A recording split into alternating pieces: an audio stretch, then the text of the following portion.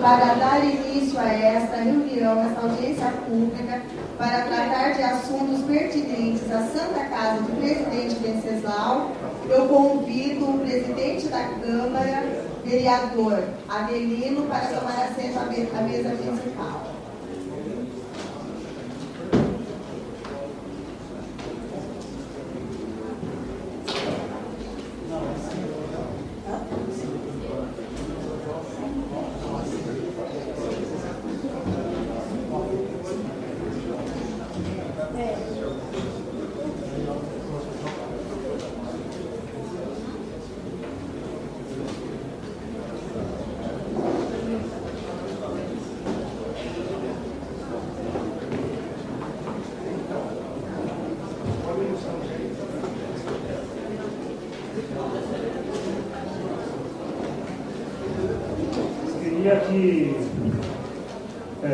convidar o representante do prefeito municipal, a senhora Maria Augusta Belchior, secretária de saúde. Compõe essa mesa.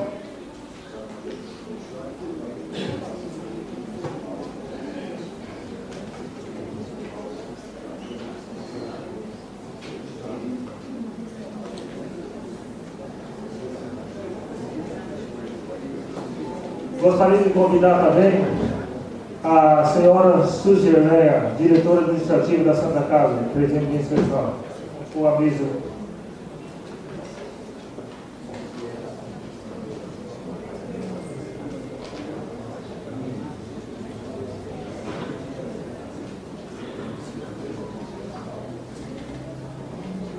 Gostaria também de convidar o senhor Bise, que faz parte das finanças da Santa Casa.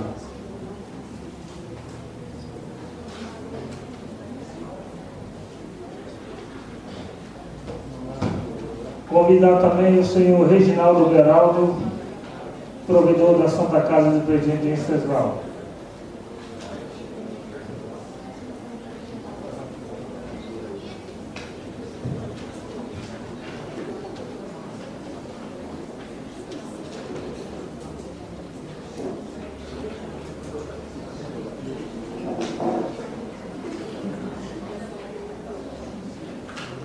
Em primeiro lugar, agradecer a presença de todos aqui nesta noite aqui na Câmara Municipal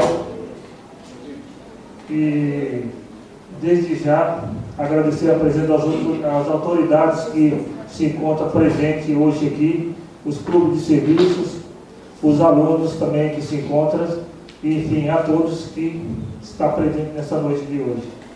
Também agradecer ao senhor Reginaldo Beraldo, que prontamente aceitou o convite dessa presidência para é, que se explanasse a situação que se encontra a Santa Casa do Presidente Venceslau, queria já agradecer, senhor Ricardo, a sua equipe que prontamente aceitou esse convite. E também convidar aqui para justificar a audiência pública nessa noite, convidar o vereador João Paulo Rondó, que solicitou a essa audiência pública para fazer essa explanação aqui nessa noite de hoje.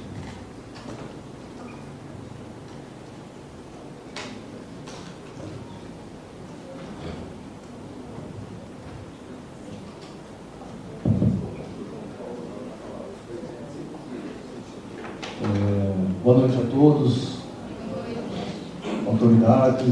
É, é simples, é, nós estamos sempre passando por uma situação difícil no nosso país, estado, município, e também a Santa Casa passando por essa dificuldade.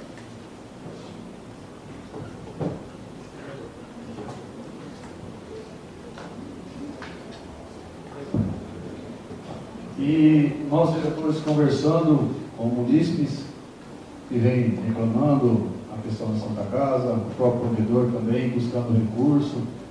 E nós queríamos que a Santa Casa nos mostrasse a atual situação que ela se encontra.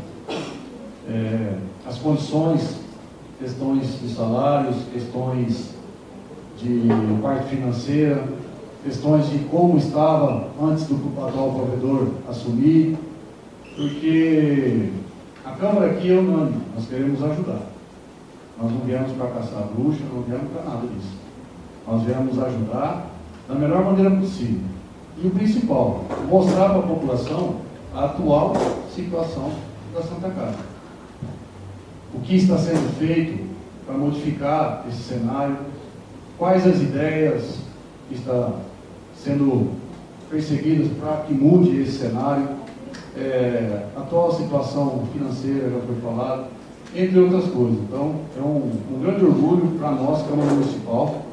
O presidente já agradeceu, mas eu quero também agradecer ao senhor Reginaldo sua equipe, e também a todos os vereadores e aos municípios aqui presentes, que estão aqui, graças a Deus, o plenário está lotado, com bastante gente, isso mostra o interesse da população em relação à situação da Santa Casa. Tudo mais, era isso. Obrigado. Eu te agradeço as palavras de Vossa Excelência. Para que se faça uso da palavra, vou passar a palavra para o senhor Guise para fazer a explanação como vice-provedor da Santa Casa.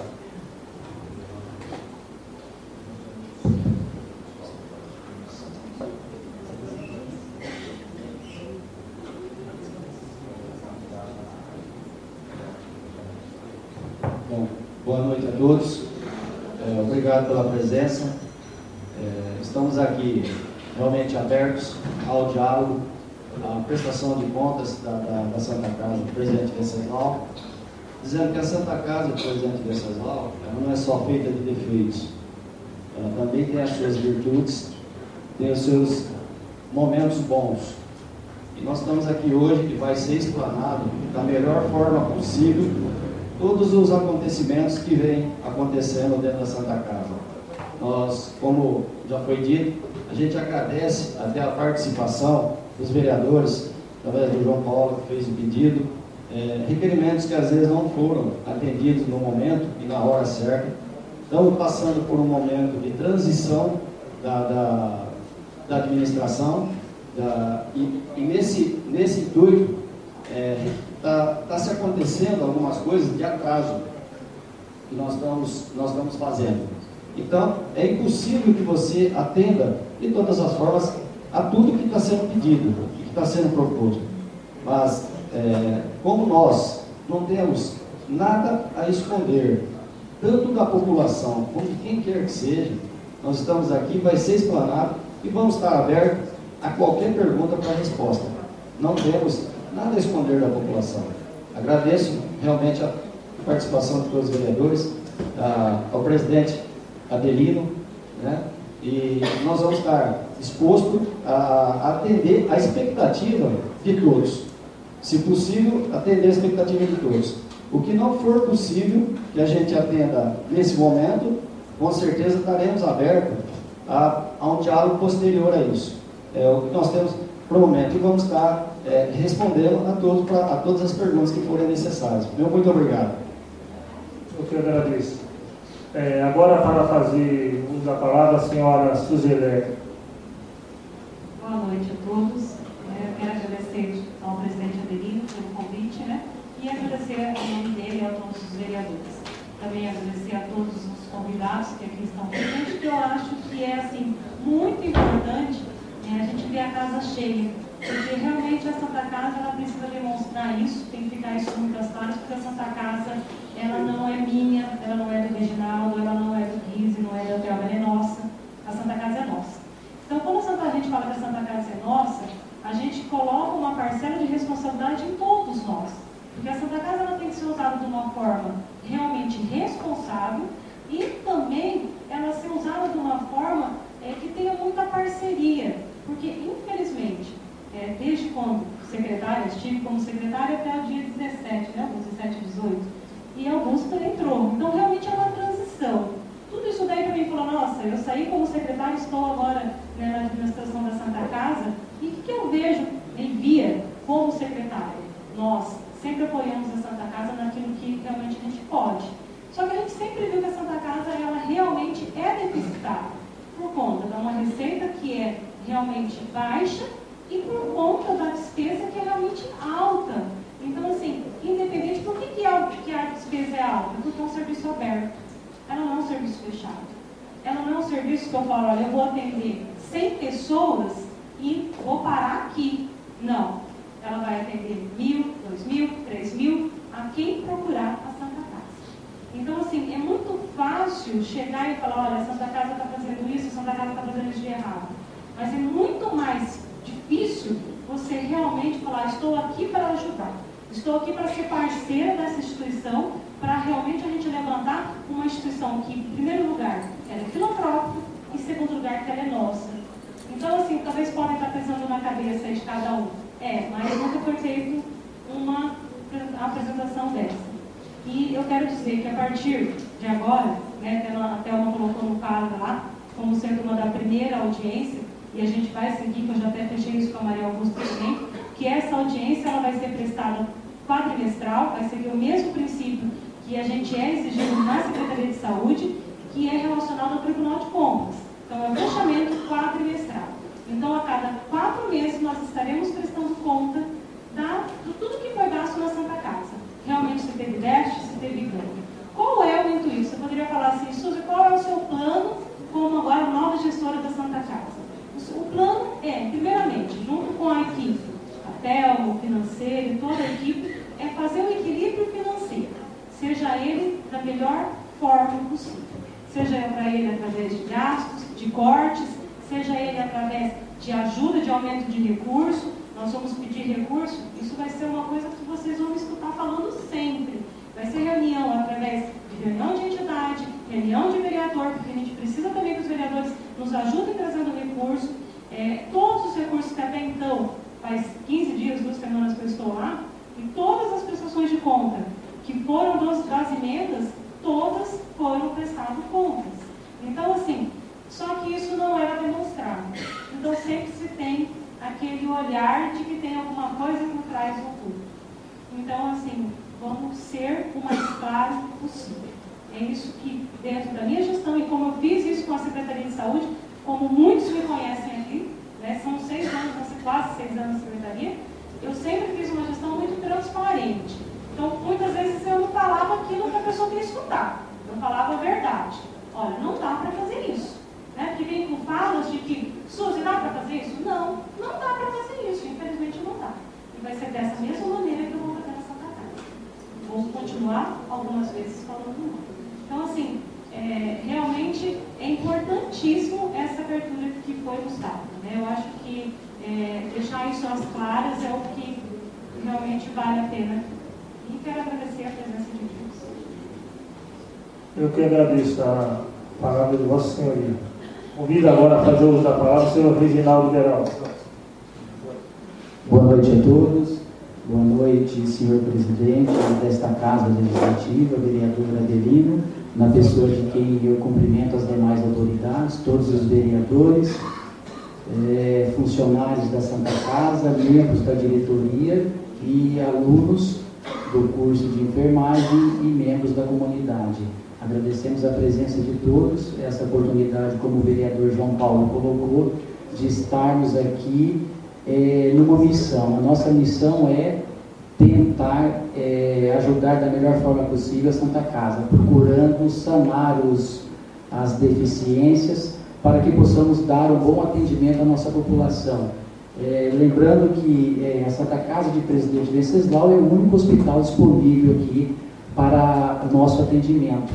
É, eu sempre faço uso de uma frase desde o começo da minha gestão, que por mais que possamos ter plano de saúde ou condições de ir até São Paulo ou outro polo de atendimento à saúde, o nosso primeiro atendimento em uma determinada situação crítica que põe em risco a nossa vida será feito aqui na Santa Casa de Presidente Venceslau. Depois desse primeiro atendimento, estabilização da saúde do paciente, ele pode ser encaminhado para outra unidade que tenha melhores recursos.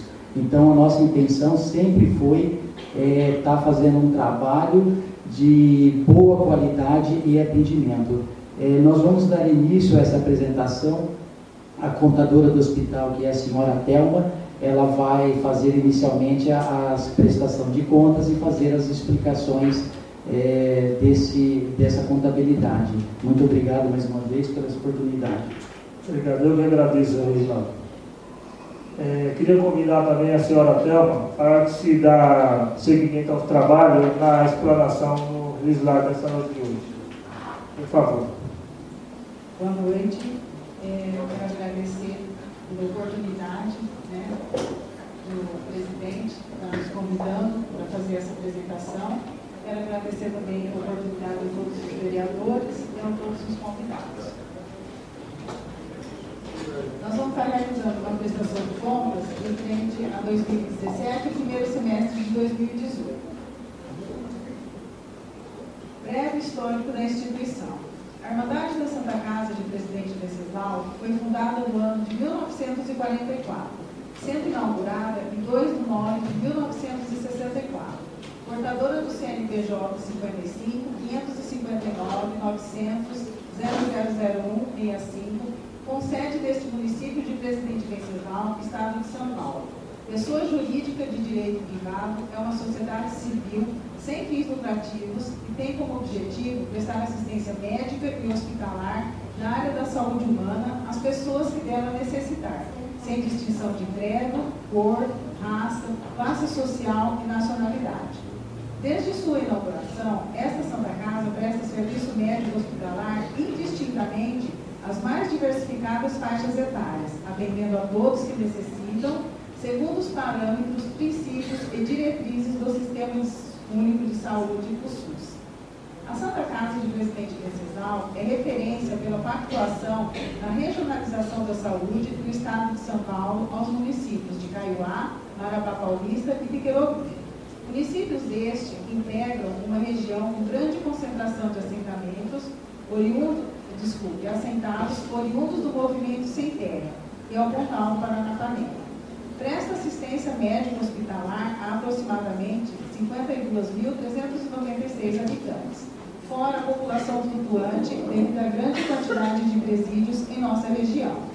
A entidade atende constantemente casos de urgência e emergência dos reeducandos, realizando cirurgias, atendimentos ambulatoriais e, quando necessário, internações quando solicitado pelos presídios, realiza radiografias às visitas dos reeducandos, tendo em vista o alto, alto índice de tentativas de entrarem nos presídios portando objetos ilícitos.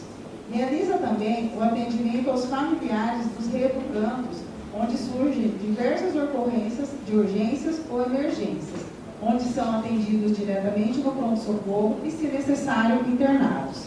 E por nossa cidade estar às margens de uma das principais rodovias do país, existe um grande fluxo de viajantes que também fazem uso do nosso hospital. Para manter seus custos e investimentos, além dos recursos próprios da entidade, ela conta com recursos financeiros das esferas federal, estadual e municipal. A Santa Casa de Presidente Venceslau possui 102 leitos hospitalares. Desses, 64 ou seja, 62%, são destinados aos pacientes SUS. A rotatividade de paciente leito gira em torno de 70%. E para dar atendimento aos pacientes internados ou ambulatoriais, a entidade possuía, até julho de 2018, a quantidade de 219 funcionários. E conforme alguns ajustes já realizados no mês de agosto de 2018, a quantidade atual de funcionários é de 205 que atuam nas mais diversas áreas do hospital, sempre de acordo com o número de profissionais que os conselhos pertinentes exigem, porém, o CREFIDO, o CRF, o CLC, o CRES e outros diversos. Contudo, salientamos que em algumas áreas trabalhamos com baixo número de funcionários e, para a devida quantidade de demanda que o hospital possui, necessitamos de no mínimo a mais 10% de funcionários. A entidade conta com 48 profissionais médicos em seu corpo clínico, atuando nas mais diversas clínicas de especialidade, como clínica geral, cirúrgica, anestésica, pediátrica, ortopédica, obstétrica, cirurgia plástica, fonoaudiologia, fisioterapia, nutrição, dermatologia, clínica de endoscopia e colonoscopia, radiologia, ultrassonografia, tomografia, laboratório de análises clínicas e atendimentos de urgência e emergência no pronto-socorro. Neste semestre, foram realizadas 1.869 internações, sendo 1.191, ou seja, 63%, pelo SUS, e foram também realizadas 27.650 consultas ambulatoriais, sendo 20.416, ou 73%, pelo SUS. Os princípios da contabilidade são um conjunto de normas que representam a essência das doutrinas e teorias relacionadas a essa ciência. Os princípios contábeis regem o exercício da profissão e o respeito a eles é condição de legitimidade segundo as normas brasileiras de contabilidade.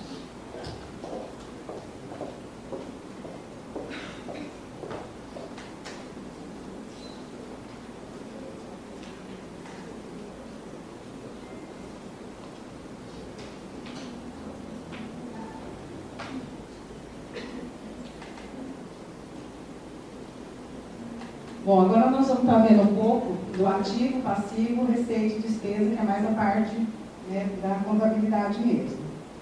É, as bases legais da contabilidade que nós vamos estar comentando aqui é a Lei 6.404 de 76. O ativo e o passivo são registrados em contas contábeis, que são contas que assinalam e dividem os diferentes tipos de fluxos econômicos ou financeiros da organização. As contas contábeis fazem parte de um plano de contas, um sistema de contabilidade que organiza as contas por diferentes tipos, com o objetivo de auxiliar na administração da empresa, mas também na obrigatoriedade em demonstrar ao governo a posição financeira que a organização possui. O ativo faz parte das contas patrimoniais da entidade e compreende o conjunto de bens e direitos da entidade possuindo valores econômicos e podendo ser convertido em dinheiro, proporcionando ganho para a empresa. É a parte positiva da posição patrimonial e identifica onde os recursos foram aplicados. É, agora nós vamos estar vendo aí o disponível. Eu vou dar uma breve relatada para não ficar muito cansativo, tá? É, o disponível, que significa banco e caixas, compreende R$ 579.026 os créditos e convênios, isso inclui todos os convênios, tá? Unimed, APA, SUS, 1.355.925 reais.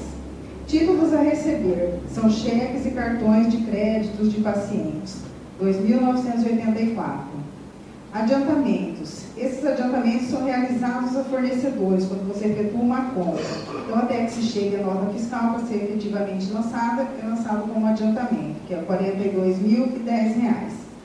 Créditos são cheques de terceiros protestados, R$ 37.247. Recursos de glosa. Esses recursos são que o faturamento realiza. Se um convênio ou uma glosa, devolve, o faturamento realiza um recurso, então ele fica nessa conta até que seja efetivamente pago, que dá R$ 96.030. Os estoques. Estoque é todo material e medicamento, compõe a cozinha, limpeza, tudo que a Santa Casa tem no estoque no mês de junho, por fazer o valor de R$ 99.896. Depósitos judiciais são acordos com fornecedores, médicos que são realizados via judicial. 77.738. Subvenções a creditar. São valores de convênios que já foram assinados e estão somente aguardando a liberação de recurso. 1.295.350 reais. Total do circulante, R$ 3.586.209,85. Títulos a receber. São as cotas que a Santa Casa tem do Cicobi e da Vale, R$ 30.220. Imóveis de uso. Compõe o valor dos prédios da Santa Casa, os terrenos onde estão localizados o estacionamento, o laboratório e aquela casa ao lado. R$ 8.412.107. Bens móveis são todos os equipamentos patrimoniais da entidade. R$ 2.281.633. Depreciação é a perda do valor do bem decorrente do seu uso, é o desgaste natural do bem. R$ 2.942.646. Intangível. É um ativo não monetário identificável com substância física. Nesse caso, é o sistema de software que a Santa Casa mantém, 980 reais. Total do não circulante, R$ 7.782.295,54. Valor de terceiros, que é o valor do comodato, são bens que não são de propriedade da entidade, são lançados no ativo com contrapartida no passivo. R$ 124.677. O total do ativo é de R$ 11.493.182,89. Agora nós vamos passar para o passivo. O passivo faz parte das contas patrimoniais e compreende o conjunto de deveres e obrigações que a entidade adquiriu durante os 365 dias do exercício, onde é chamado de passivo circulante. E o não circulante compreende o conjunto de deveres e obrigações da entidade acima dos 365 dias, a mesma irá acumular por longos exercícios. Aí nós temos os fornecedores. Os fornecedores é todos o, o que envolve material, medicamento, limpeza, cozinha, lavanderia, faz o valor de R$ 1.576.207. Serviços médicos, honorários médicos de diversas especialidades, R$ 3.743.231. Serviços de autônomos, são os prestadores de serviços sem vínculo com a entidade, R$ 59.519. As obrigações sociais. Aí estão incluídos salário, INSS, FGTS, provisão para o 13 terceiro, provisão de férias, rescisões, tudo que está envolvido com o funcionário. R$ 2.583.472. Obrigações fiscais. Impostos que são descontados dos funcionários ou prestadores de serviço. Imposto de renda, ofício, contribuição social, COFINS, 267.158. Contas a pagar. São cheques à entidade a compensar empréstimos de particular também, 479.653. Empréstimos a pagar, apropriação de juros dos empréstimos que a Santa Casa mantém junto à Caixa Econômica Federal e o Bradesco, R$ 251.888. Parcelamentos fiscais. São parcelamentos junto à Receita Federal, Procuradoria Geral da Fazenda Nacional, a UFGTS, que é o curto prazo, ou seja, dentro de 365 dias é 30.296,40. Parcelamentos inclusos no ProSUS são os parcelamentos de débitos federais a curto prazo, ou seja, dentro de 365 dias, é 151.126,89. Subvenções a realizar são os valores de convênios que já foram assinados e estão somente aguardando a liberação do recurso, até que seja liberado o recurso que é lançado no ativo contra o passivo. R$ 1.295.350. Bens móveis e depósitos são bens que estão sob a responsabilidade e guarda da entidade, que é R$ 196.216. O total do circulante, R$ 10.634.122,01. Parcelamentos fiscais. Parcelamentos junto à Receita Federal, Procuradoria Geral da Fazenda Nacional e FGTS a longo prazo. R$ 271.147. Parcelamentos inclusos no ProSUS. São os parcelamentos com débitos federais a longo prazo. R$ 381.925,22. Empréstimos e financiamentos apropriados de juros dos empréstimos junto à Caixa Econômica Federal e Bradesco, R$ 3.194.669. Total do não circulante, R$ 3.847.741,62. Os valores de terceiros, que são comodados, que são os bens que não são de propriedade da entidade, são lançados no passivo como contrapartida do ativo, R$ 124.677,50. É, agora nós vemos o patrimônio social no valor de R$ 981.284,74 negativo, um superávit ou déficit do ajuste dos exercícios anteriores de R$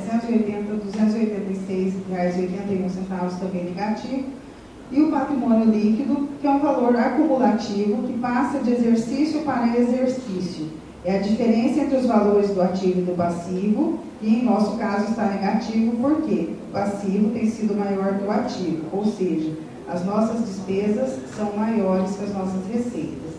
Em R$ 1.761.571,55.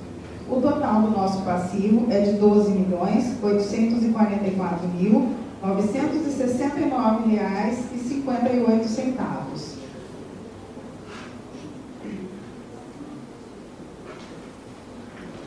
As nossas receitas.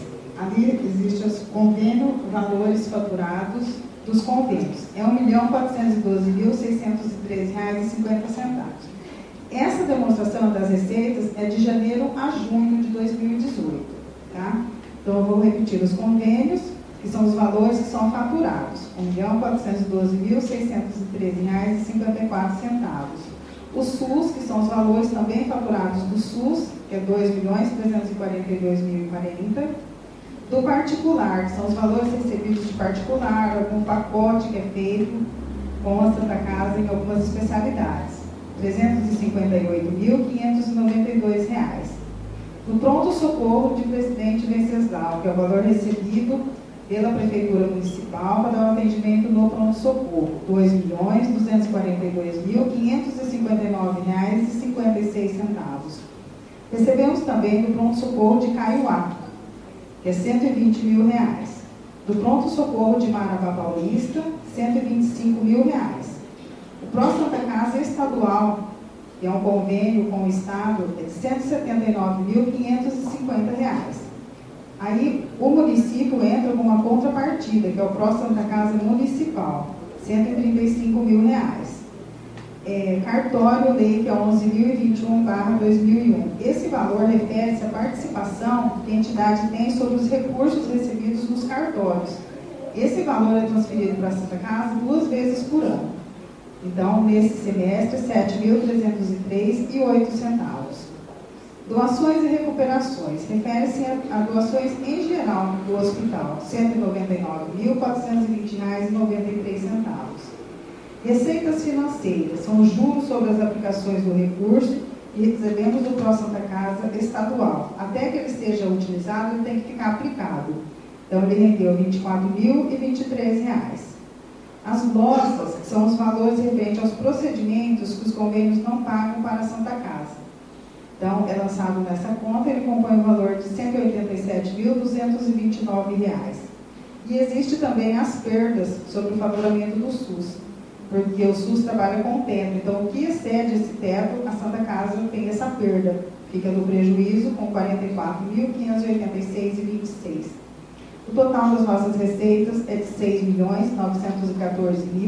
6.914.287,79. Aí nós temos as despesas também, que é a composição de janeiro a julho deste ano de 2018 funcionários que engloba salários, fundo de garantia, multa rescisória, compõe o um valor de R$ 2.808.601. Serviço de terceiros, que são honorários médicos de todas as especialidades, e também serviço de terceiros, que é o RPA. R$ 3.135.712,74. Material de consumo, são os insumos que todo hospital necessita: material, medicamento, limpeza, lavanderia. Compõe o valor de R$ 868.931,43. Alocação dos equipamentos que a gente necessita, que a gente não tem o recurso para adquirir, é, são equipamentos utilizados na UTI, no laboratório e em alguns outros setores da Santa Casa também. R$ 63.114,56. As despesas administrativas compõe energia, telefone, despesa, esterilização, tudo que envolve é, a parte da administração. R$ 420.161,70.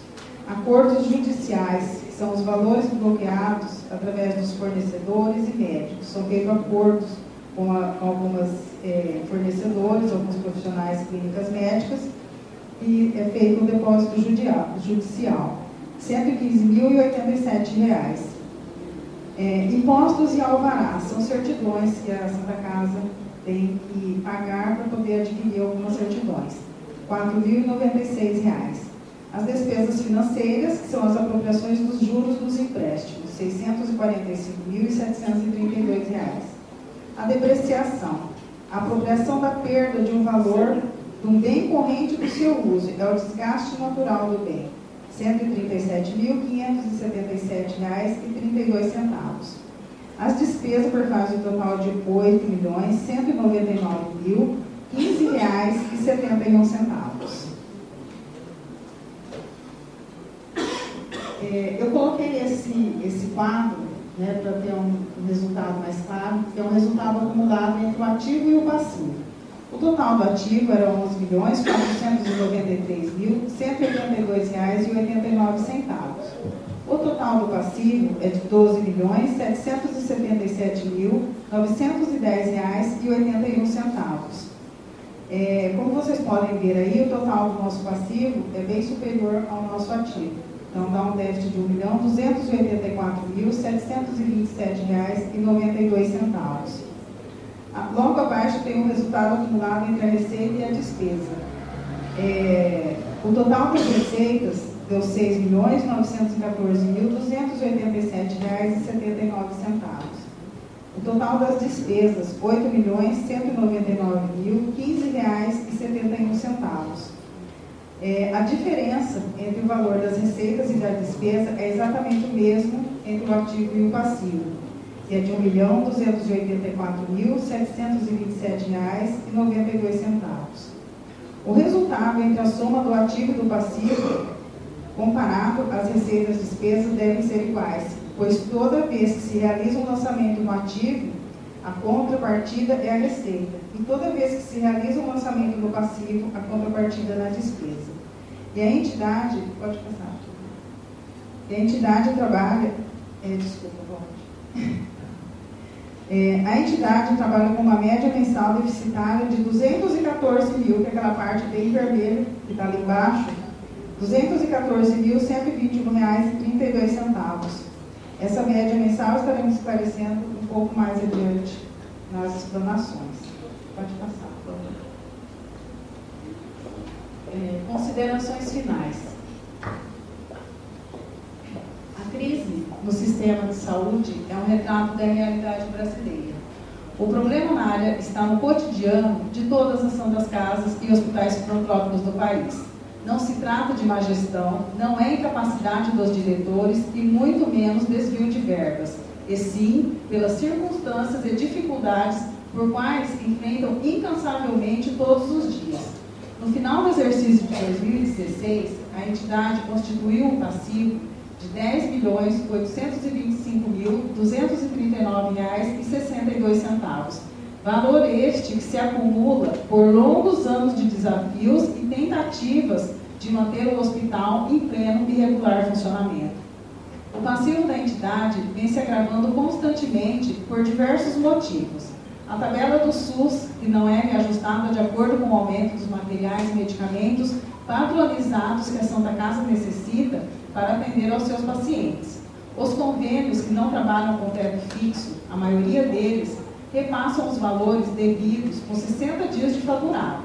E quando acontece o repasse, são geradas muitas glosas. A entidade realiza os recursos, o que demora ainda um bom tempo para que consigamos realizar o recebimento. Outro fator importante e de grande relevância foi a reforma que teve que ser realizada no centro cirúrgico. Com isso, as cirurgias eletivas tiveram que ser suspensas por 90 dias, sendo realizadas somente as de urgência e emergência, caindo as receitas dos convênios em 70%. Existe um outro fato que já se tornou cultura em nossa cidade. Os pacientes não possuem o hábito de se, de se dirigir aos postos de saúde do seu bairro. Preferem ir à Santa Casa para serem consultados e já medicados, esquecendo que o pronto-socorro é atendimento exclusivo de urgência e emergência Nestes seis meses ao quais se refere essas demonstrações, como já foi acima descrito, foram atendidas 27.650 pessoas, o que resulta uma média de 153 pessoas por dia. Quando se analisar as fichas desses atendimentos, apenas uma pequena parte desses pacientes estão classificados para o atendimento no pronto-socorro. Esse fato acaba tumultuando o atendimento, gerando longas horas de espera e o descontentamento da população. Essa demanda de pacientes do hospital acaba gerando maiores custos, pois a entidade tem que aumentar a quantidade de funcionários e profissionais médicos em diversos horários para garantir e conseguir dar o suporte na manutenção e atendimento desses pacientes.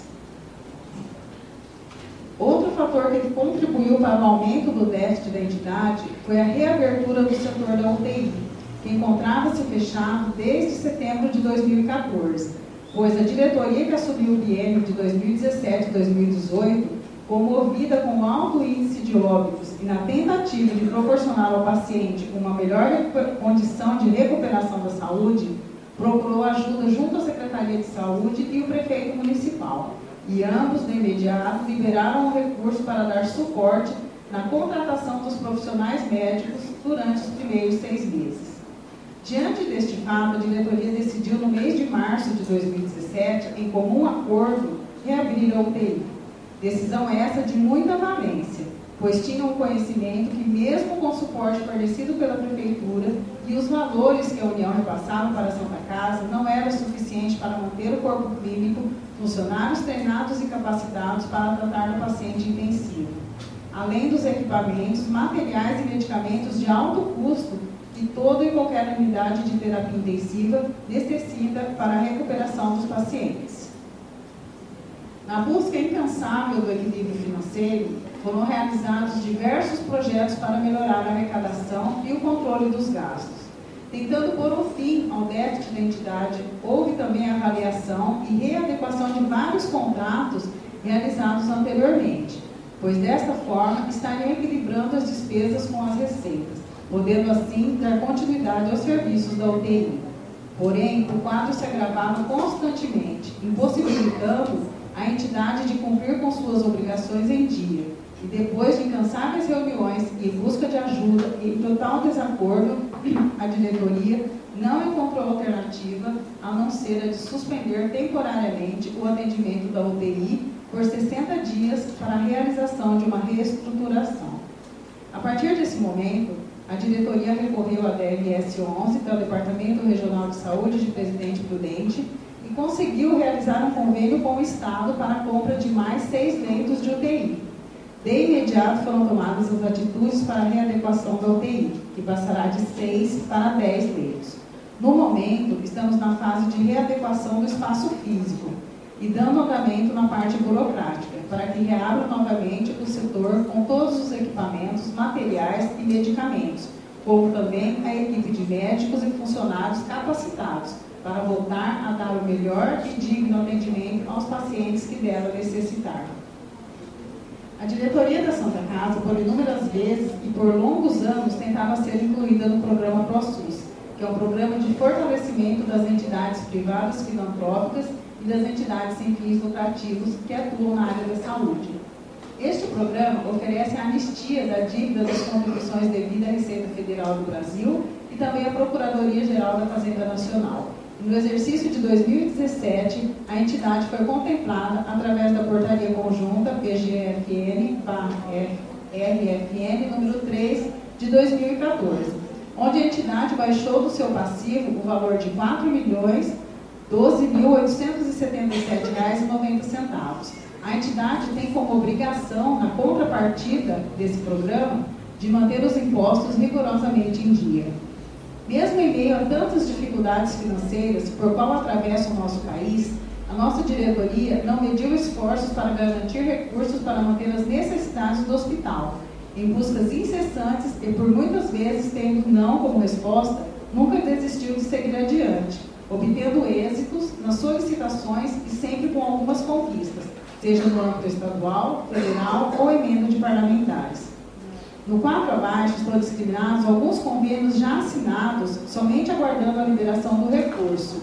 E o outro, como o Pro Santa Casa, que já estamos recebendo as parcelas mensalmente. Então, aqui nós temos alguns convênios, né, que, que são as finalidades, são os diversas, a indicação e os valores. Então, as finalidades é a reforma do posto 1, que é esse, esse valor é da União, no valor de 100 mil reais. O Pro Santa Casa, que é esse que a gente já recebe, é o custeio estadual de 1 milhão 134 mil, que a gente recebe 29.500 reais por mês. É, aquisição de equipamento e material permanente, que é da, da Marta Suplicy, no valor de 150 mil. É, a finalidade do equipamento, que é um gerador, que foi destinado pelo Major Olímpio, no valor de 200 mil. Outro é da reforma da, da maternidade, que é do Evandro, Evandro Bussi, de 250 mil. É, tem outro que é para a reforma dos quartos do posto 1 e da maternidade, da Luísa Erondina, de 100 mil reais. Reforma do telhado do posto 2 e corredor central. Esse é um recurso federal de 250 mil. É, o outro para custeio estadual de 100 mil. Mais um para custeio estadual, vem do Estado, que é de R$ 346.500. Outro de equipamentos, também que é do Estado, que é de R$ mil. Reais.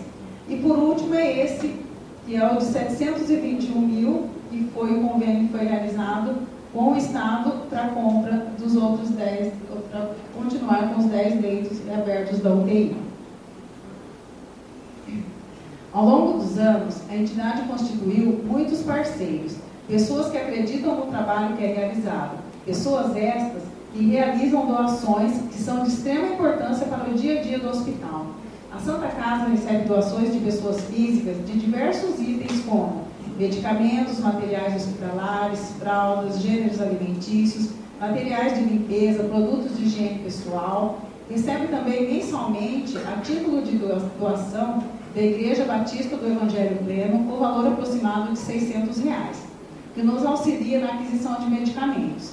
Alguns órgãos vinculados à Prefeitura Municipal também realizam doações que são de extrema importância, como a Divisão do Bem-Estar Social, que nos encaminha sobras de leite dos postinhos de saúde, e o CEAMA, que nos encaminha frutos, verduras e legumes que abastecem nossa cozinha por quase toda semana.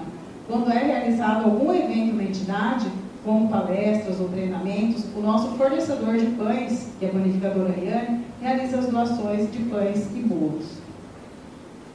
A funcionária Adriana Begão, funcionária da entidade bioquímica responsável pelo laboratório, realizou sua festa de aniversário e pediu como sugestão de presente que fosse realizado em dinheiro. Ela angariou o valor de 5 mil reais, que será doado à entidade para aquisição de colchões e rouparia para confecção de campo cirúrgico. Assim como outros diversos funcionários se mobilizam diariamente para doar cortinas, fraldas, lâmpadas, pilhas para equipamentos, materiais de escritório e por aí vai. Outro exemplo de consciência, responsabilidade e amor ao próximo foi ocorrido em setembro passado onde a direção do Colégio São Paulo resolveu destinar o recurso que seria utilizado no desfile para aquisição de tecidos para confecção de lençóis para a Santa Casa. Lençóis estes que suprirão a necessidade da entidade por quatro meses. Existem alguns quartos da entidade que necessitavam de reformas.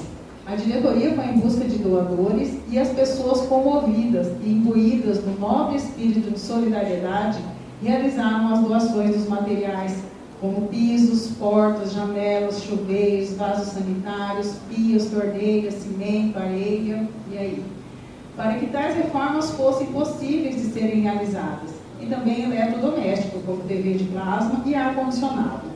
E a entidade, em contrapartida, disponibilizou os funcionários para realizar as adequações, e é com muito entusiasmo que a diretoria ressalta que já existem mais quatro doadores para que sejam realizadas as reformas em mais quatro quartos. Estamos apenas aguardando os nossos funcionários concluírem o quarto que está em fase de término, para que assim seja dado início às próximas reformas. Abaixo demonstramos as fotos tiradas de um quarto e as placas que a entidade realizou como forma de agradecimento aos doadores. Esse daí é um quarto, né, que ele está sendo reformado, nós tiramos foto de um só, porque todos os quartos são iguais. Né, então aqui ele estava sendo retirado o piso, já tinha sido trocado a janela. Aqui é o banheiro, né, que já está praticamente acamado. Aqui continua sendo o mesmo quarto. Pode passar.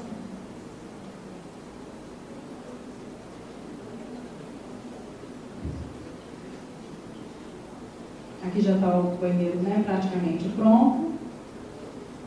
A obra concluída com a TV, o ar-condicionado, o piso, né, uma manta que é colocada, que é específica para o hospital, não é mais é, a cerâmica, né, ou, ou, algum outro material que era utilizado antigamente. Essa manta era é específica para hospital.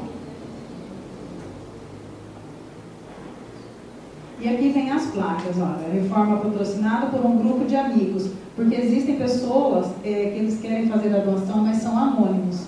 Né? Então, a reforma patrocinada por um grupo de amigos. A reforma deste quarto, patrocinada pelo Dr. Berço Alonso Pacheco Júnior, Dr. José Sebastião Andrade Júnior. Reforma deste quarto, patrocinada pelo Dr. Hildo Tavares Carvalho Júnior e Dr. Marcelo De Pierre Andrade. A reforma foi patrocinada por um grupo de amigos de festa, o Tamo à Toa.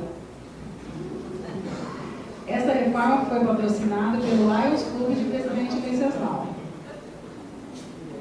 Esta reforma foi pelos bancários, aposentados e amigos.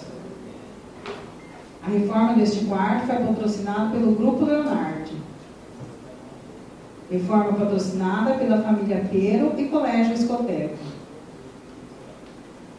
Como citamos no início, a situação financeira dos hospitais está longe de ser o que sonhamos ou imaginamos. Na verdade, estar em um hospital, seja como paciente ou ainda como profissional, é sempre algo doloroso e difícil de ser vivenciado diariamente. Quando falamos de saúde hospitalar, não podemos apenas pensar no médico ou no medicamento ou no local em si. Existem inúmeras circunstâncias e possibilidades para que o sistema possa funcionar. Devemos enxergar a Santa Casa como um todo, como a extensão de sua própria casa, onde haja respeito mútuo, reciprocidade, amor ao próximo e principalmente compreensão. O mundo em que vivemos hoje tem urgência de três coisas: gestos que ensinem, palavras que edifiquem e mãos que ajudem. Mensagem final. A nossa Santa Casa é movida pela união de todos. Nos apoiamos e traçamos metas, pois sem elas não há razão para se fazer algo. As metas são os motivos e não nos deixam desistir em meio a tantas dificuldades. Elas nos motivam cotidianamente. A outra motivação surge a partir do momento em que percebemos e há sentido em tudo que fazemos pois a vida de muitas pessoas dependem de nossas habilidades e motivações diárias. Reconhecendo a importância para esse grande projeto de Deus que é a vida, é o que nos instiga a continuar lutando, progredindo e vencendo. Os nossos agradecimentos ao Conselho Deliberativo, diretoria e funcionários da Irmandade da Santa Casa de Presidente Venceslau. Obrigada a todos.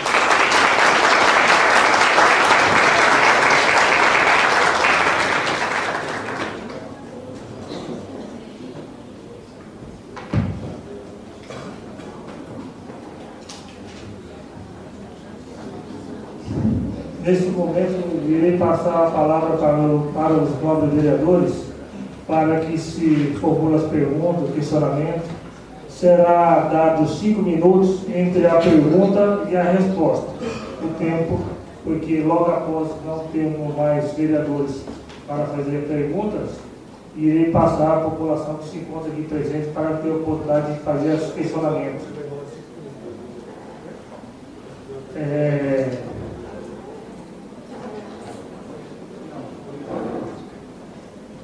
Tá, Luciano.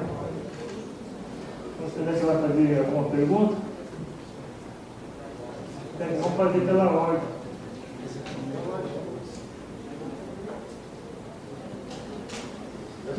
Tufi, passo a palavra para Vossa Excelência. Vou cronometrar mais cinco minutos. É, boa noite, senhor presidente, aos membros da Santa Casa, aos vereadores, aos ministros presentes, boa noite. É, Gostaria de parabenizar vocês por terem vindo hoje, mas por outro lado, eu fiquei muito chateado e achei falta de respeito vocês não terem respondido os requerimentos feitos por esta casa. A todo momento essa casa participou ativamente, ajudando a Santa Casa. Eu, inclusive, recentemente, inclusive o Beraldo sabe, o atraso do pagamento do pronto-socorro, a gente interviu. Todo mundo aqui tem vereador que ajuda, enfim. Então, acho que pelo princípio da transparência, da boa vizinhança, em função da gente, da prefeitura repassar a verba pública por pronto-socorro, o pronto-socorro é mantido pela prefeitura, a Santa Casa poderia, ao menos, responder os nossos requerimentos, que foram cordiais. Não tem nada de caça às bruxas, como o vereador João Paulo disse. É, eu observei ativo, passivo, né? É, inclusive é, o déficit dava 780 mil, mas não tem os juros. Né? E a gente observou também que 8 milhões é só do prédio, mais os, os equipamentos, etc. Então, assim, minha, minha primeira pergunta é: então, se a gente vender a Santa Casa inteira hoje, o equipamento, tudo aquilo que estava lá, considerar um juro, que estamos falando de 12 milhões, vamos colocar uns 2 milhões, 3 milhões de juro, ainda vai faltar para a Santa Casa em torno de 3 milhões. É uma pergunta. E como a prefeitura às vezes atrasa o repasse do pagamento do pronto-socorro, por que, que tem alguns funcionários do pronto-socorro, especificamente, assim como médicos do pronto-socorro, que têm seus salários atrasados? E a última pergunta, porque não vai dar tempo de fazer mais, é em função é, dessa, desse passivo é, com funcionários de 2 milhões, se nesse valor já se encontra dívidas com médicos, que eu conheço um ou dois ou três, que só desse ano em torno de 50 a 40 milhões, quer dizer, se naquela, naquele flutuante de 200 e poucos mil daria mais, não daria menos, porque é flutuante, porque é uma dívida antiga. Inclusive, eu acho que é do pronto-socorro, quer dizer, ela não recebeu. Então, são as três perguntas que eu gostaria de fazer. Senhor vereador do FI, é, queria primeiramente é, pedir desculpas, não é desprezo da nossa parte não ter respondido os requerimentos. Acontece que o requerimento que Vossa Excelência dirigiu à Santa Casa é, coincidiu concomitantemente com a dispensa que nós fizemos do, do administrador da época e estávamos em período de transição. Nesse período de transição, enquanto estávamos é, acertando a contratação de um novo administrador para o hospital, quem estava lá gerenciando o hospital era eu e o Guise, que é o vice-provedor. Então, nós não temos é, muito entendimento da área e estávamos é, praticamente lançando mão das nossas atividades particulares para estar administrando o hospital dentro das dificuldades possíveis. Então, eu peço desculpa, não foi descaso, nem desprezo por essa atitude. Desculpas aceitas, teoricamente até os requerimentos serem respondidos.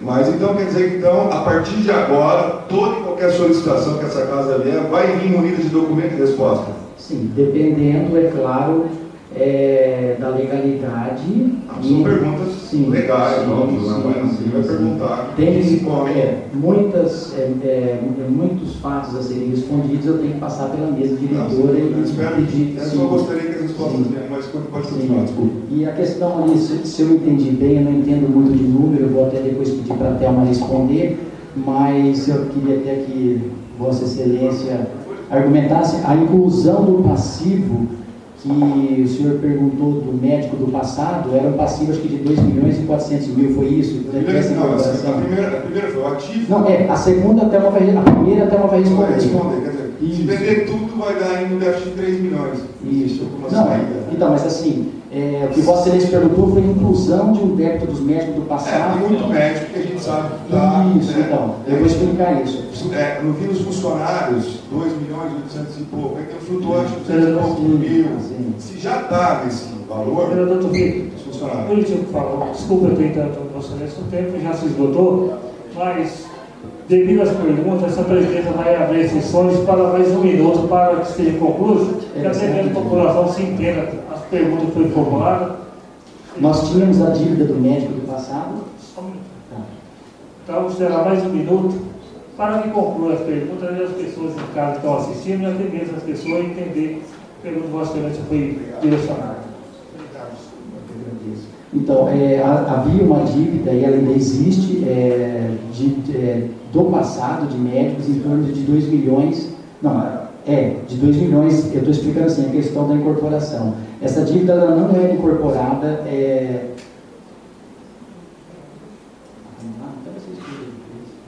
É, eu vou passar para a tela então, que ela vai dar, senão eu vou ficar, vai esgotar o tempo e eu não consigo explicar. É, Essa dívida com os médicos, que é o valor passivo, é de 3 milhões 743 mil. Era uma dívida que ela é acumulativa. Né? Esse valor que é devido para os médicos, ele vem de longa data, não é de hoje, essa dívida. É desde o ano de 2014. Então, isso daí a gente já está tendo reuniões né, com os médicos, isso daí a gente vai conseguir dar um valor para que a gente consiga sanar essa dívida. Esse é o interesse da casa e esse valor vai ser sanado. É, quanto ao valor que você é, falou no prédio, é realmente isso. É, o nosso passivo é altíssimo, né? É, as nossas, é, infelizmente, a nossa receita não cobre a nossa despesa, essa é a nossa realidade. Né? Mas... Senhora Tela, só um minutinho, por favor. O tempo já se expirou. Desculpa eu estar aqui, porque eu não sei quantas pessoas será formulada a pergunta devido ao tempo. É, qual vereador que está escrito na sequência para fazer pergunta? Senhor presidente, Sim, com a palavra do João Paulo.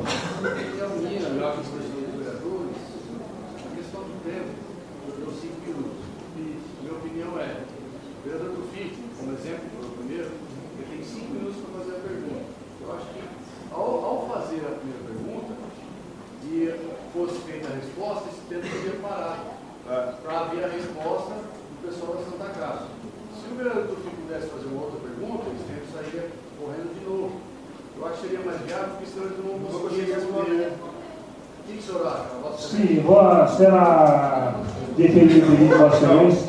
Estarei fazendo, não, nós formulamos as perguntas que não sabemos como, quem vai se fazer as perguntas, porque até então não foram escritos, não sabemos a quantidade de pessoas que deveriam fazer as perguntas. Então, desculpa, eu vou estar retomando o tempo de volta do vereador Tufi, para que seja concluídas as perguntas que foi dadas. E na sequência, o vereador Rafael. Vereador Rafael. Na sequência, a vossa excelência será acumulada.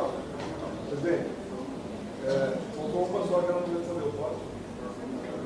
Sim, vou retomar o tempo. Um minuto só para é, só reiterar novamente.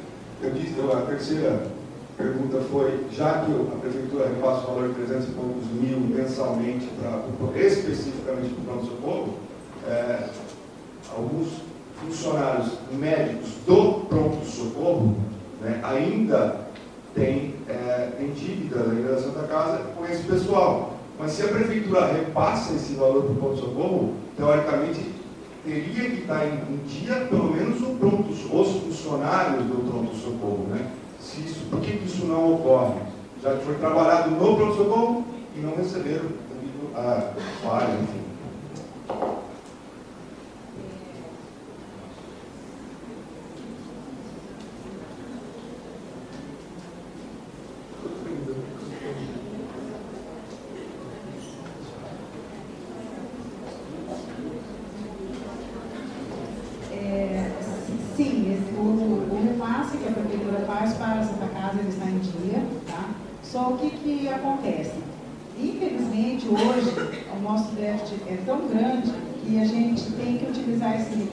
Para suprir várias, várias despesas da Santa Casa. A gente tem que dividir esse recurso, é um pouco para o médico, um pouco para o funcionário, no geral, porque, como você falou, são verbas carimbadas, eu teria que estar sendo pago o funcionário do pronto-socorro.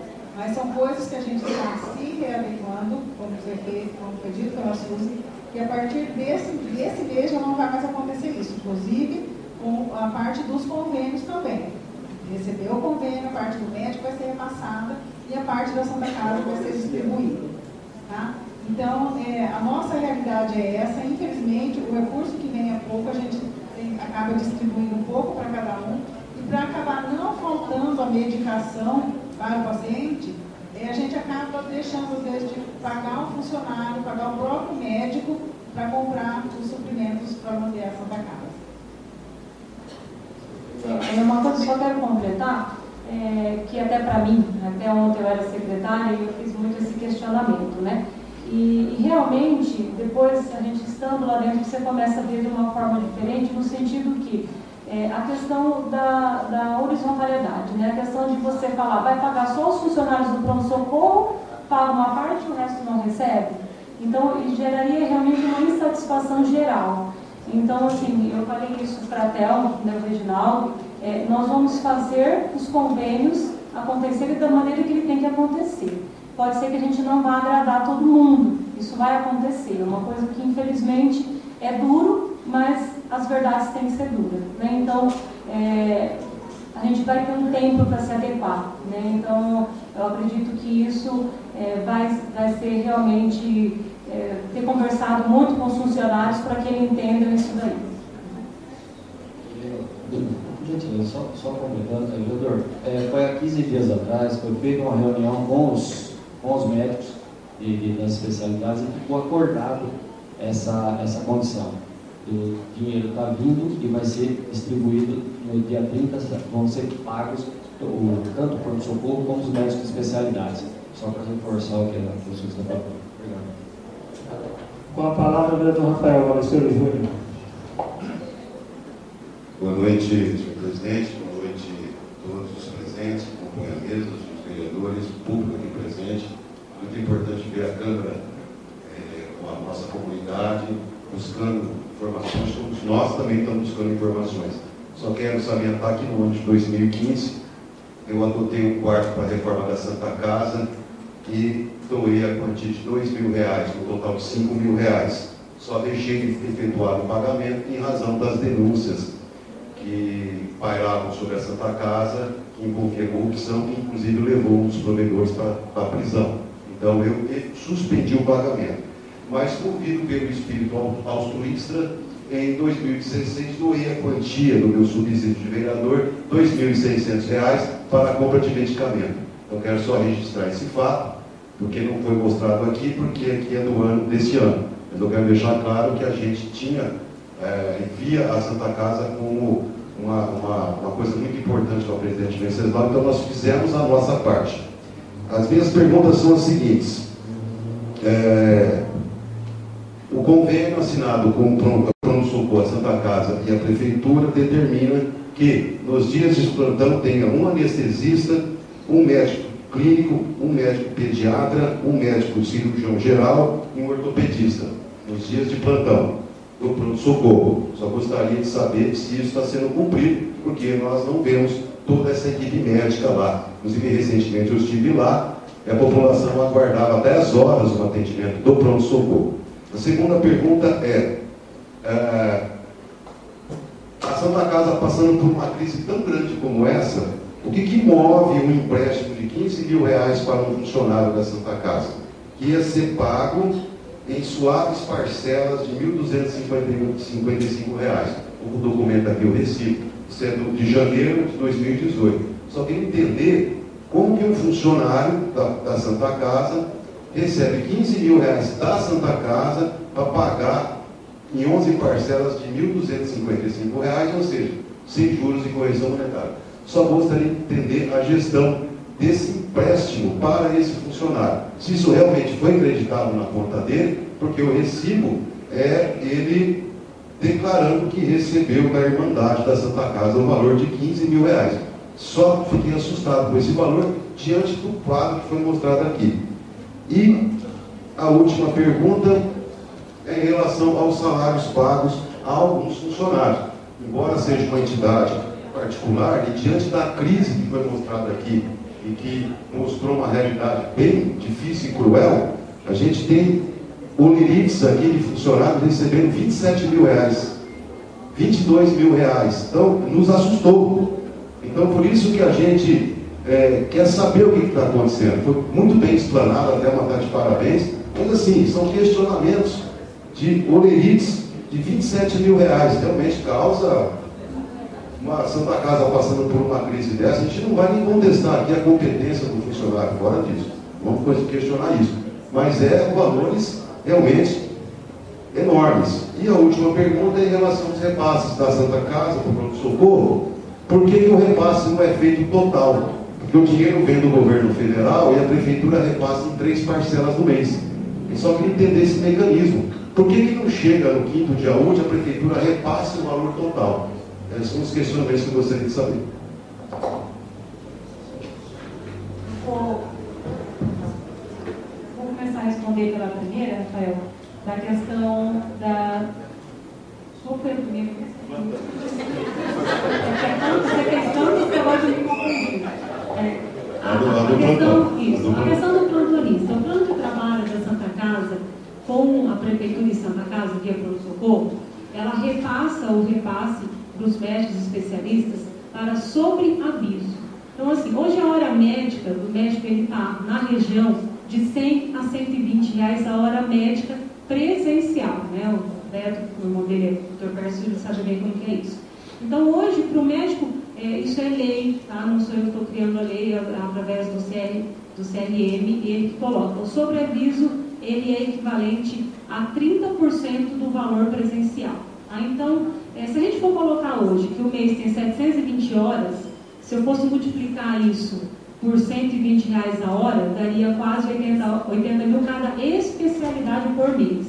Então, hoje a Santa Casa não tem condições de parar 80 mil para deixar o médico presencial ali.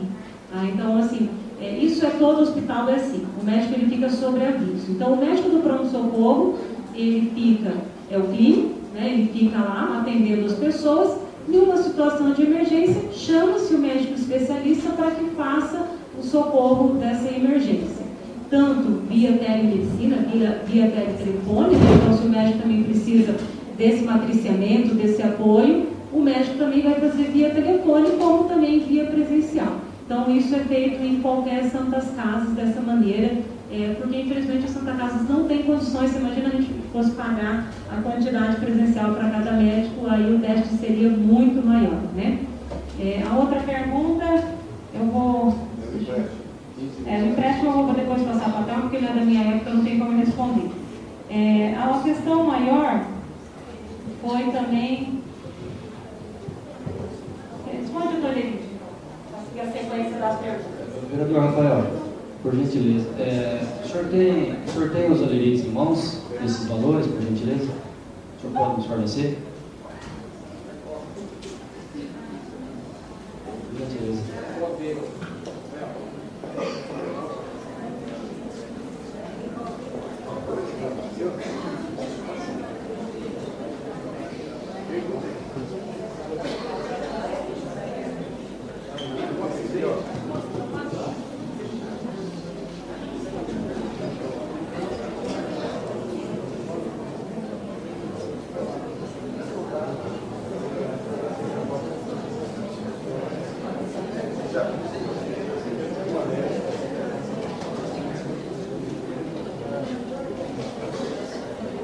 Tá, é, o senhor, o senhor se referiu a, a 25 mil de salário? 27 mil de salário. Tá bem.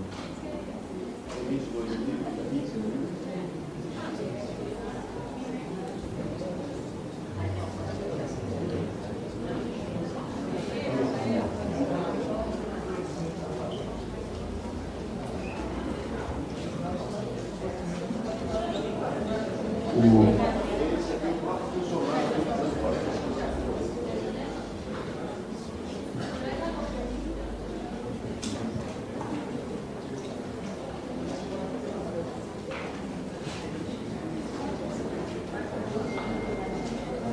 é, referente ao empréstimo, viu excelência vereador Rafael, o, o empréstimo foi autorizado porque foi justificado tratamento de saúde de familiares.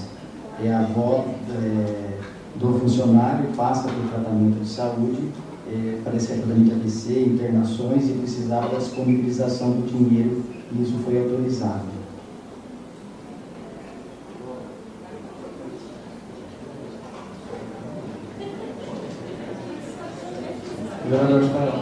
É, com relação a se refere aos 27 mil, 22 mil, está incluído férias, 13 terceiro e outros, e outros benefícios que, que são. Né? Então, seria o salário em si mensal.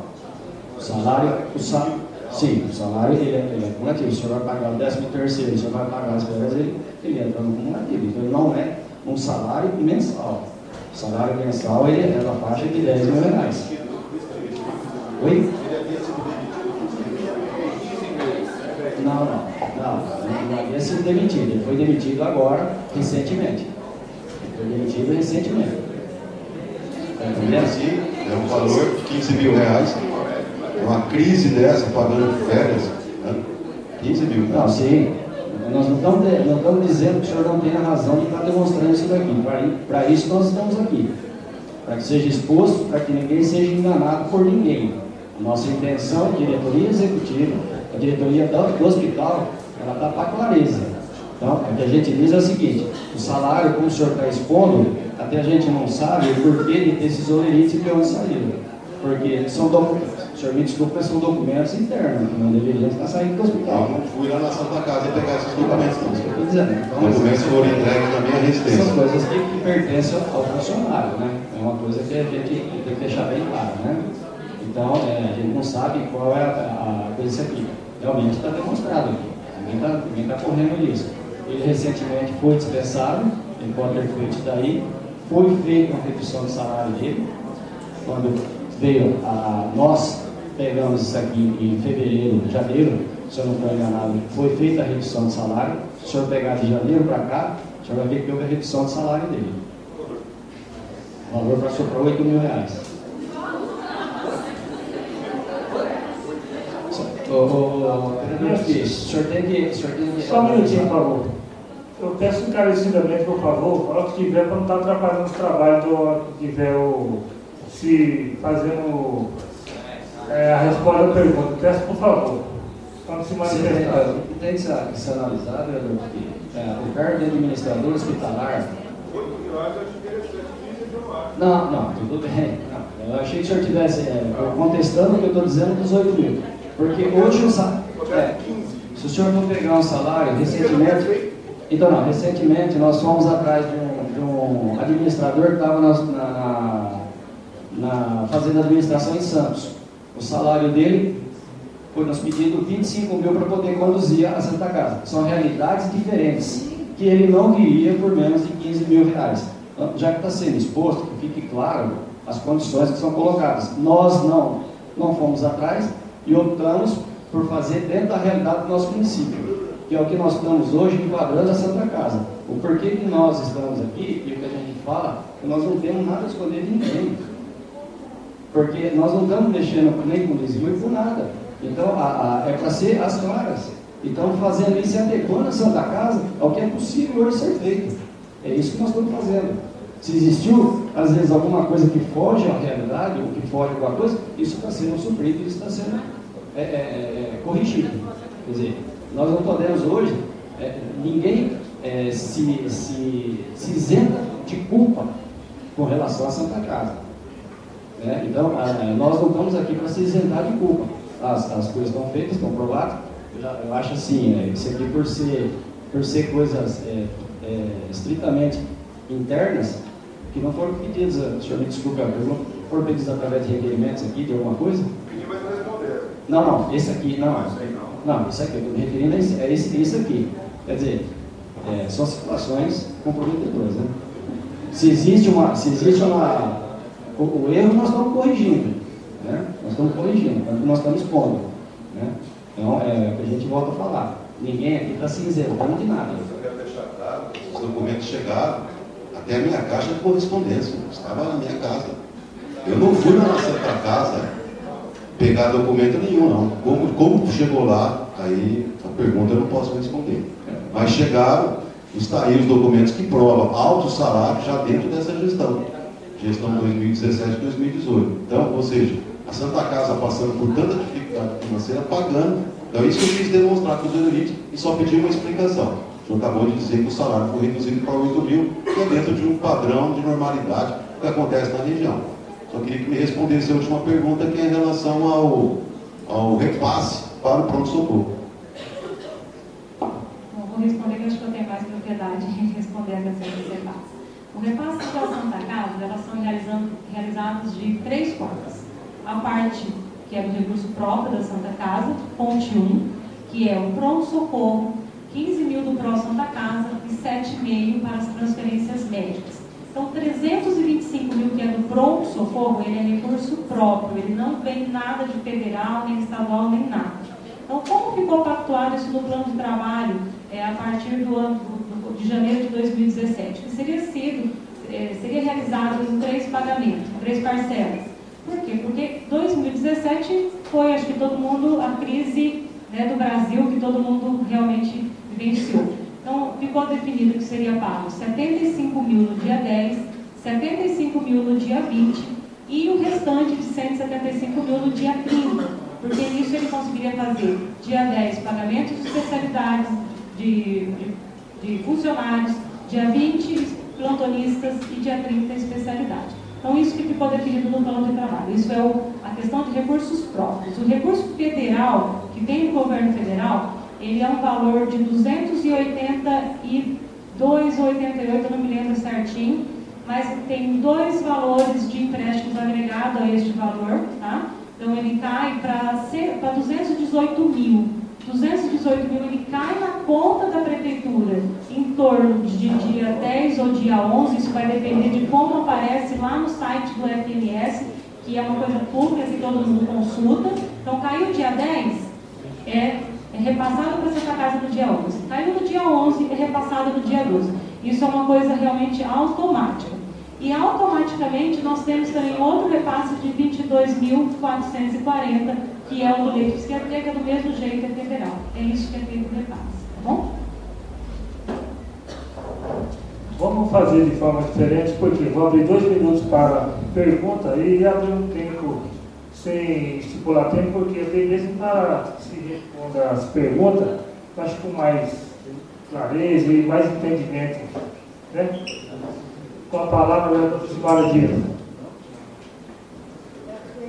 Não, desculpa, é o Roberto desculpa. Boa noite a todos, boa noite, presidente, Reginaldo, Suzy, Izzy, Maria Augusta, todos os presentes, senhores vereadores. Agradeço, como estou já agradecendo, a presença de vocês aqui. É muito importante a vinda de vocês aqui. Isso vai trazer uma transparência muito grande para toda a sociedade, para toda, toda a nossa cidade, para toda a nossa região, porque o problema da Santa Casa não é um problema municipal, é um problema regional. Certo? Eu, a maioria das minhas perguntas já foram, já foram feitas aqui, mas eu tenho, eu tenho algumas dúvidas sobre esse convênio que existe entre a Prefeitura e Santa Casa, já foi bem respondido, que está em dia esse convênio, certo? É uma preocupação, porque, porque a responsabilidade dessa casa, a responsabilidade da Prefeitura é com a urgência e emergência, certo? A parte de dentro da Santa Casa é um problema da Santa Casa, mas é um problema nosso também, porque nós somos munícipes, certo? Então, com relação, com relação a essa, essa, essa, esse dinheiro que é transferido da prefeitura para a Santa Casa, existe essa, essa, esse valor que a Suzy acabou de falar, para transferência de R$ 7.500. É, se esse dinheiro também está sendo aplicado na transferência ou está sendo é, é embolado junto com o dinheiro que vocês recebem? Existe uma previsão nesse convênio que, de uma conta própria para depositar esse dinheiro, certo? É, esse dinheiro deve, deve ou deveria estar numa conta própria, sob, sob pena até de, de, de, passar, de parar de ser repassado esse dinheiro. Se existe essa conta própria, ou se não existe, se vocês vão criar uma conta própria para utilizar esse dinheiro.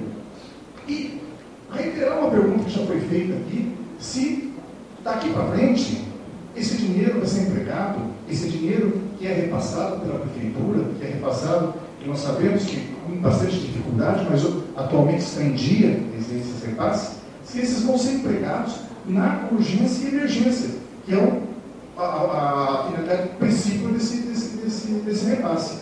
Eram só essas minhas perguntas. Muito obrigado. Posso responder?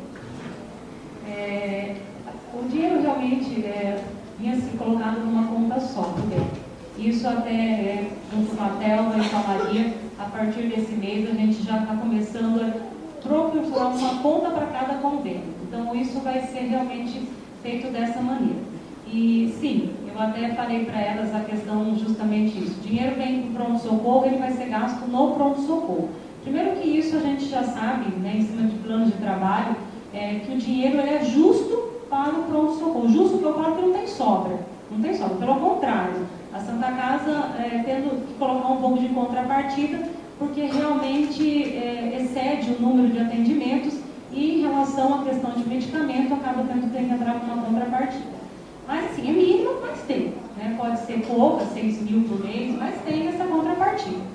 É, em relação à questão é, do, das transferências médicas, é, esses 7 7,5 ele deveria ser somente para transferências médicas de paciente da, de Presidente Venceslau. Então, os municípios de Caiuá e de Marabá não fazem nenhum repasse para as transferências médicas. E o que acaba, está acontecendo no momento? Que a gente vem até vivenciando isso, e é que a gente acaba tendo que acudir às transferências das outras cidades, que não são poucas também, ainda mais agora com os três assentamentos de Marabá, isso aumentou demais, né, demais, porque são pessoas que estão vindo de outra região do país, com muitas doenças, e acabam acontecendo realmente situações bastante agravantes. Nós tivemos até domingo, nós ficamos das duas horas da manhã até as cinco da manhã procurando um médico para conseguir transferir um paciente de Marabá. Então, assim, por mais que o dinheiro 7,5 é, vem para isso, você acaba tendo que é, realmente subsidiar algumas, algumas questões. Mas, assim, eu quero dizer que, é, a, com certeza, né, sem dúvida nenhuma, os dinheiros vão ser aplicados no pronto-socorro. Cada convênio em cima de cada da sua necessidade. Muito obrigado pela explicação. Eu quero agradecer a presidente da Thelma também, agradecer todo mundo. Muito obrigado a todos. Com a palavra, a vereadora Lucimara Dias. Boa noite a todos. Tá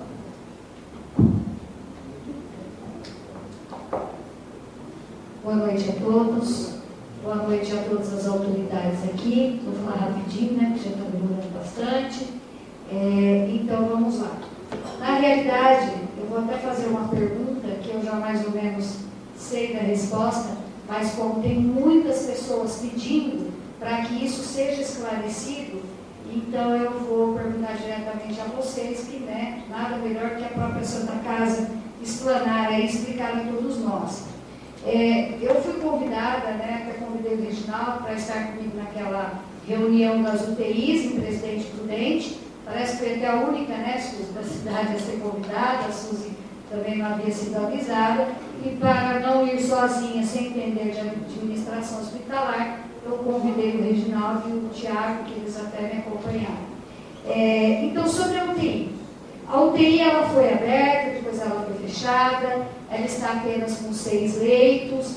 É, houve na época, eu lembro muito bem, uma dificuldade de conseguir um certificado para funcionamento, uma, uma licença para funcionamento, justamente porque haviam só seis leitos e necessitava de dez leitos para esse funcionamento. Ouvimos dizer também que a UTI será reaberta e será reaberta logo. Então gostaríamos de saber muito com esse déficit financeiro, com esse problema financeiro que a Santa Casa vem apresentando e vem enfrentando aí, como vocês vão reabrir uma UTI que mostrou ali na explanação da TEL, parabéns, muito bem feita, que antes com seis leitos não era possível de se manter, mas que com dez leitos será reaberta. Eu gostaria de que vocês explicassem a toda a nossa população, porque a UTI nós temos índices de, de diminuição de óbitos, né? E essa, a UTI é de extrema importância para a nossa população, para todos nós. Então, eu só quero rapidamente explicar a questão do processo da UTI, que ele é um pouquinho confuso, né? A Santa Casa tinha uma UTI tipo 1, né? Então ela tinha quatro leitos, UTI tipo 1, e ela recebia um repasse dos 16 mil. É, quando eu entrei como secretária, todo, teve todo um trabalho, né, em parceria o prefeito também, fazendo ali, é, a sua questão junto ao Ministério, para que a gente conseguisse é, ampliar ela para tipo 2. A partir da hora que ela passou a ser tipo 2, ela agregou ao valor um valor de 33 mil, ou seja, 16 mil mais 33 mil é um repasse de 49, 49 mil reais por mês. Hoje, o gasto de uma UTI com seis leitos, seis leitos o gasto de uma UTI, ela fica em torno de 150, 160 mil, isso vai depender do tipo de paciente que você atende. Ou seja, né, rapidamente nós temos um déficit ali mensal de 100 a 110 mil, que é a falta do recurso para a UTI. Então, o que, que, foi realizado a partir daquela reunião, né, que eu falei que foi tudo realmente um pontapé, porque é um problema não só de decisão, mas é um problema também da região, uma falta de leito de UTI e, e ajuda política. Né? Hoje nós vivemos um país que a gente precisa desse apoio político. Né? É, conseguiu com o, nosso, com o nosso governador Márcio França, o atual governador, ele realizasse o convênio junto com a Santa Casa de compra é, de seis leitos. Por quê? Quatro leitos já é custeado pelo Ministério da Saúde. Os dois leitos eram particular, nós ampliamos de quatro para dez leitos, ou seja, é, o Estado vai custear mais seis leitos. Nesses seis leitos, o governador repassou esses 721 mil para que esse custeio seja realizado até dezembro. Tá, gente? Então, assim, é, é uma luta que agora nós vamos, é um processo de trabalho, é uma construção para que a gente consiga é, ter o credenciamento desses 10 leitos junto ao Ministério. Tá? Então, nós estamos já fazendo isso daí, junto de planos e tudo isso mais.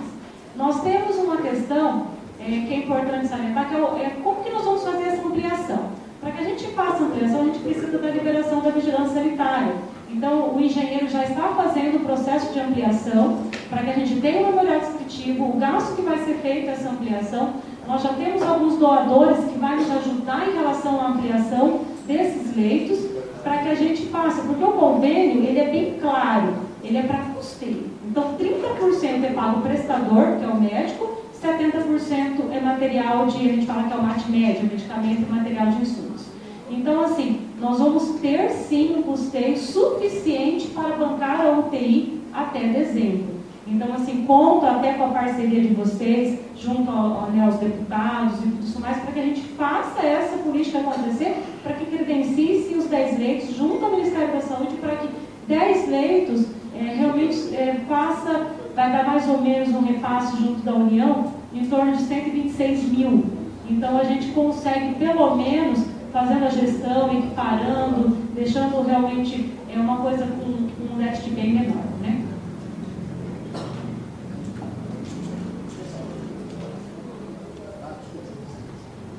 Com a palavra, vereador Wilson Dourado. Os pais, o pessoal da Santa Casa, aqui prestando esse recebimento. Eu ia fazer algumas perguntas que alguns pais já, já fizeram, então eu vou reduzir uma só. É, nós vimos a situação caótica pela prestação de conta, realmente é um problema muito grave, a gente vem acompanhando isso há muito tempo. E para a gente ajudar, a gente tem que ter a credibilidade da administração. Senão a gente não coloca dinheiro e satura. Essa é a verdade. Dinheiro está difícil para todo mundo. Então, o que, eu, o que eu queria resumir é o seguinte: há pouco tempo foi recebido através de apreensão de veículos e foi repassado para Santa Casa. Eu queria saber se esses veículos estão sendo utilizados ou está parado, se esse controle de uso desses veículos estão sendo feito rigorosamente para fins de serviço, né? porque isso gera gasto, gera custo para Santa Casa que não pode gastar centavos à toa. E se viagem, viagens também, se existe um controle, existe um limite de gasto nessa viagem. Eu, como funcionário público estadual por 30 dias, quando nós viajamos, nós temos uma diária para se gastar. Não é que eu gasto o que eu quero, eu recebo um valor estimado que dá para fazer. Se eu gastar mais, eu pago do bolso, o gastamento é meu dinheiro. Tá? Isso é um decreto estadual. Eu queria saber se a Santa Casa existe esse controle. Em viagens, se existe controle de gasto. Porque quando a gente se encontra numa, numa situação dessa, com pouco dinheiro, cada centavo é importante. Eu tiro como base a nossa casa. A nossa casa, para se gastar centavos, é bem pensado. Tanto é que nós usamos apenas 2% do valor que nós podemos gastar 7% da receita e de 2% nós devolvemos para a municipalidade um valor de 400, 500 mil reais ao ano. Então é muita responsabilidade lidar com dinheiro coletivo. Então eu queria saber se existe esse controle, se não existia, gostaria de saber se essa administração nova pretende fazer esse controle rigoroso para que dá credibilidade à administração atual, né? que as pessoas possam ajudar efetivamente a Santa Casa de todas as formas para sair desse buraco, dessa situação, porque todos nós precisamos dessa Santa Casa. Suzy, mais uma coisinha. E realmente. Só um minuto. Não dá mais? Questão do tempo, o tempo já se inspirou. É isso. Peço compreensão de Vossa Excelência. Esse, esse veículo ao qual o nobre vereador está fazendo menção é, são dois veículos, não, dois, dois. Na verdade, são mais veículos que foram apreendidos, acho que em Rondonópolis ou Cuiabá. Eles está, estão apreendidos no processo criminal que está tramitando na primeira vara e eles ficam. São seis veículos apreendidos. É, Para nós foram destinados dois veículos na condição de fiel depositário, porque esses veículos ficavam e ficam ainda os demais é, no Detran, lá do estado do Mato Grosso, no tempo e se perdendo. E como tem a questão da reversão desse, desses bens é, para a entidade que foi a Santa Casa, que foi a entidade lesada, é, nós então recebemos dois veículos como depositário e fizemos a manutenção e é, o cuidado desse veículo aqui no hospital. Esses veículos já foram devolvidos porque parecem que estavam no nome de laranjas e eles faleceram, então está se fazendo inventário, então fizemos a devolução já para o estado do Mato Grosso, para que se faça o inventário. A questão do controle, é, a Thelma faz o controle de, de despesas e viagens, tudo controladinho, combustível, pedágio, é tudo feito é, contabilmente no hospital. Então isso aí, Vossa Excelência pode ficar tranquilo que sempre houve esse controle. Muito obrigado,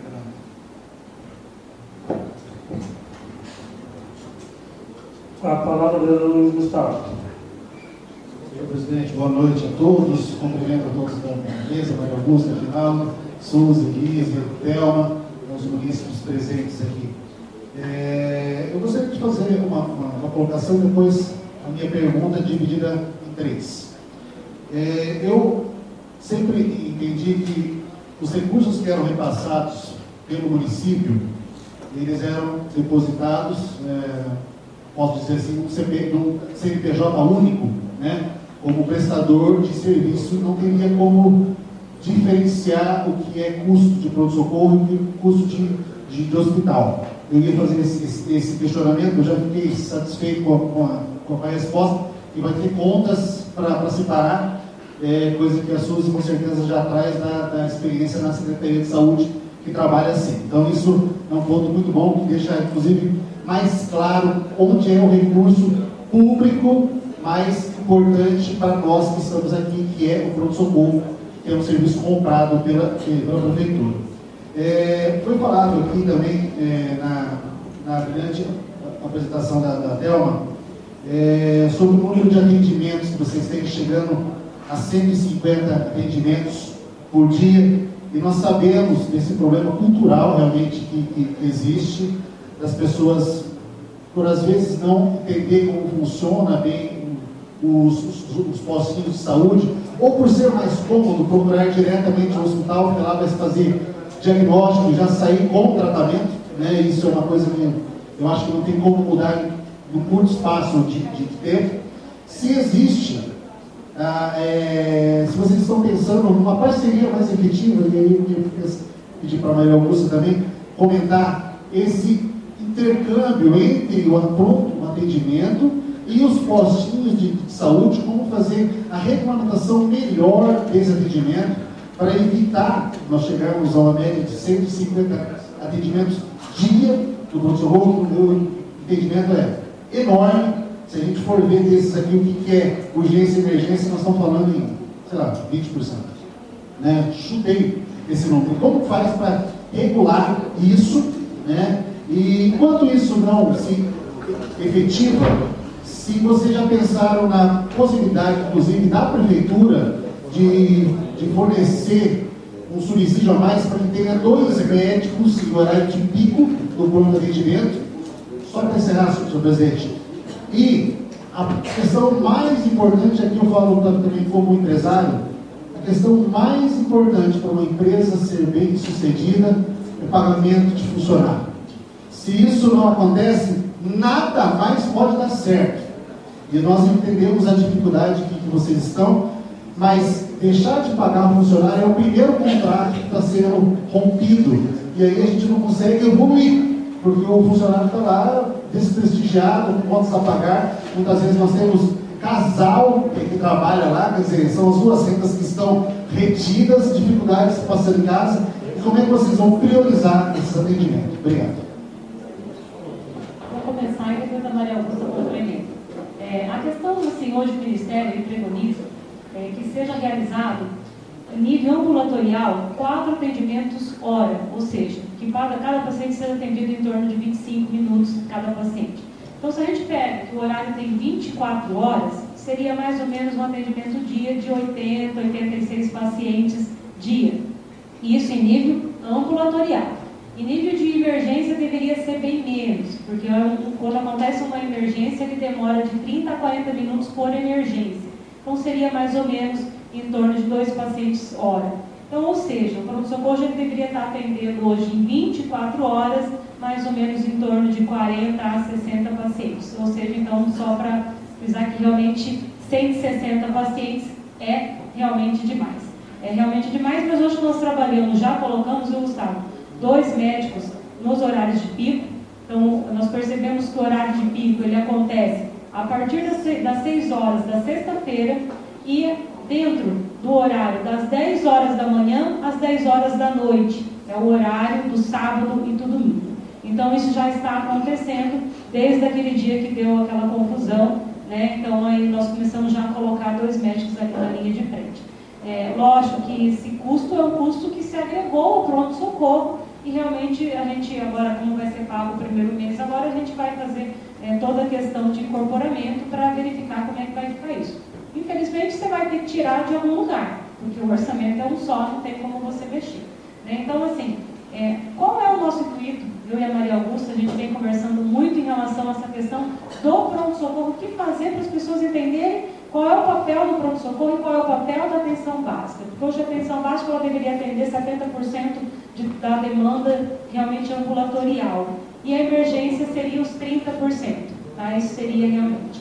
E, e a, a, questão maior é a gente fazer essa consciência do, do morador. Então, nós estamos aí pensando realmente na divulgação de um trabalho em sala de espera, na questão de um panfleto explicando qual é o fluxo correto desse, desse atendimento, ao que ele tem que passar e até mesmo se a gente perceber que não consegue ter um trabalho, realmente é o pronto-socorro referenciado. A gente não quer acontecer isso por quê? Porque a gente sabe que na hora que o postinho estiver aberto, o médico está lá. Depois que fechar, o paciente vai até a Santa Casa e não tem como você referenciar fora de horário. Então é uma questão realmente bastante discutida e a gente pensa realmente começar pelo trabalho da conscientização. Isso é o caminho. Vou passar para o Augusto, Augusto, complementa aí. Nós começamos a. Desculpa. Nós começamos há um pouco tempo mesmo, na questão de um mês, a fazer uma leitura é, de toda a demanda que a gente gera em termos de atenção básica é 85% quase da resposta da demanda que a gente tem nas unidades de saúde. É, a gente não consegue traçar, o Estado, todos, né, um perfil agora. Mas o que a gente percebeu é assim, uma busca não só em relação ao pronto-socorro, né? É, a resposta não é imediata, então eu continuo buscando em lugares diferentes. Fez uma leitura bacana, a gente consegue dizer que isso a gente reduz de 30% a 40%, uma demanda que se apresenta como não necessária mesmo. Outra proposta que a gente tem é de fazer uma leitura dessa demanda do pronto-socorro. A gente já teve uma conversa anterior, mesmo sem estar na secretaria, né? Mas a gente já teve uma conversa anterior com as meninas e a gente quer fechar isso. É, diria também essas pessoas, essa demanda que vai na Santa Casa. Não é? Normalmente as meninas é, até ligam dizendo, tem postinho fechado, tá certo? Então, se a gente não fizer uma leitura daquilo que está levando as pessoas aos lugares a buscar ajuda, buscar o seu atendimento ali, a gente não vai conseguir ter uma resposta. Tendo a leitura dessa demanda, a gente consegue fortalecer aonde é necessário. Acho que é um passo é esse. Valores culturais, todos nós temos, né? A minha dor é maior, quero resposta. Então, são valores de pessoas, a gente tem que respeitar isso. Né? O nosso trabalho é em cima disso. Nós e o usuário, nós também somos usuários SUS. Então, é uma construção mesmo. Acho que hoje é um processo histórico, não é? E a gente está disposto a caminhar juntos. Acho que essa construção a gente vai conseguir, não é? Obrigada. Só prioridade do salário. Isso. Só respondendo a última pergunta, Gustavo, eu acho que é essencial isso que você falou. Eu acho que realmente a gente só pode é, realmente ter a parceria do funcionário e cobrar alguma coisa do funcionário quando realmente a empresa paga o funcionário em dia.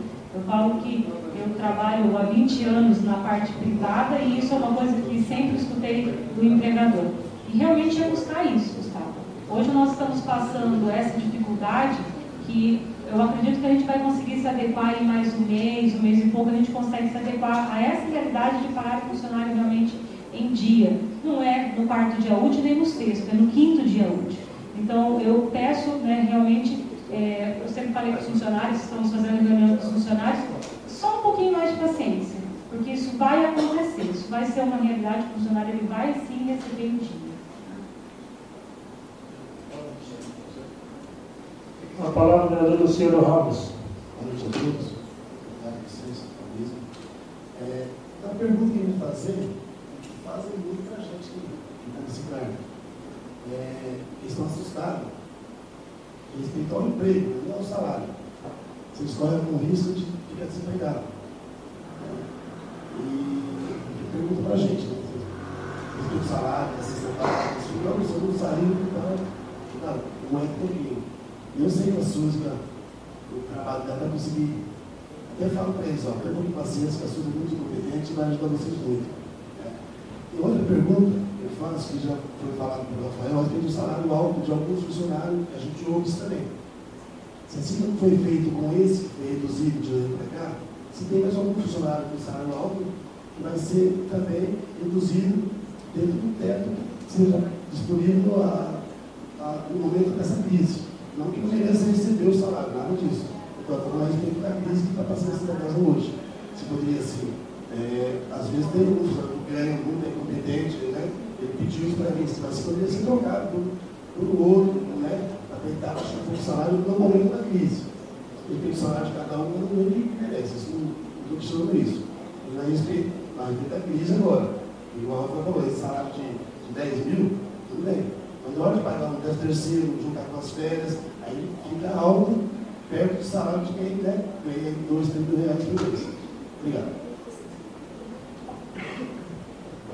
É, vereador Luciano, é, a readequação da Santa Casa hoje ela é complicada. Nós temos que fazer com ela. Nós já começamos pelos altos salários, como foi explicado né, anteriormente, está é, sendo revisto. Alguns salários, não, não como o senhor, o colocou aqui, com salários altos. É, tem alguns salários que não podem ser mexidos, infelizmente. Isso não é de agora, já é de, de algum tempo. E estão amparados por algumas coisas que, é, que fazem parte da Santa Casa. Então, tem alguns salários que não podem ser, ser mexidos. Né? Nós temos CIPA, né? Nós temos outras coisas que precisam, que, que, que são necessárias. Tem é, funcionários que estão amparados por, por, pelo INSS em fase de, de, de, de aposentadoria. Então, são vários salários, mas que não são de agora, não são dessa gestão que veio acontecendo. Então, é, os, os, que foram, que pertencem a, a, nós, estão sendo mexidos. Todos que podem ser mexidos estão sendo mexidos. Certo? Tá sendo, foram feitas algumas dispensas, se torna necessário, infelizmente, como, como você mesmo disse, é, é impossível você readequar a Santa Casa sem, sem que se mexa na estrutura dela. É, nós não temos hoje condições de, de, fazer de que ela se torne diferente. Então, está é, tá sendo feita a explicação, a explanação do que precisa ser readequado em linhas de, de, de funcionários. A gente utilizando o próprio funcionário, Suzy já está fazendo um levantamento com relação a isso, para poder ser bichando com relação a tudo que for necessário, para poder readequar Santa Casa. Senão nós não temos condições de colocar ela onde ela precisa estar. É, é justamente com isso, com, com, com, salários assim, que já foram mexidos. Que tudo está é, sendo mexido, nós vamos estar tá fazendo. É, que vai ser mandado, vai ser dado ali mandado e mandar todo mundo embora. Não, não é isso que vai acontecer. Existem alguns comentários realmente é, mesmo nos corredores da Santa Casa. Então é um processo difícil. Nós, é, nós, a gente vem segurando isso já ao longo do tempo, justamente pela própria situação hoje da, da falta de emprego que nós temos hoje dentro do nosso município. Porque é, recentemente ainda conversando com, com o prefeito, a única coisa que se fala hoje na cidade são duas coisas, a reabertura do Caioba e o BNDES da Santa Casa. São as duas coisas que são questionadas hoje dentro, dentro da, da, cidade. O, o hospital, o, a, o Caioba anunciado para poder se empregar e o BNDES que não saiu dinheiro para que a gente possa dar suprir as necessidades e colocar essa casa no parâmetro onde ela estar. Nós precisamos do dinheiro para que isso se torne constante e a gente coloque em ordem o funcionamento da Santa Casa. Não existe outra forma. Hoje, perante o que mostrado aí, mesmo não, não tem como você ter uma outra solução de imediato. Então nós contamos com isso para que a Santa Casa volte a funcionar normalmente. E que os salários, como o, o próprio vereador Gustavo disse, é, o salário sempre foi nosso, meu, do Reginaldo, eu estou três meses como vice-provedor, entrei agora. Então, a no, é a nossa prioridade, eu sempre, é, nós temos funcionários aqui, e as reuniões que eu faço com eles, é, é estritamente com relação a isso. De prioridade nossa o salário em dia. Nós, infelizmente, não estamos conseguindo.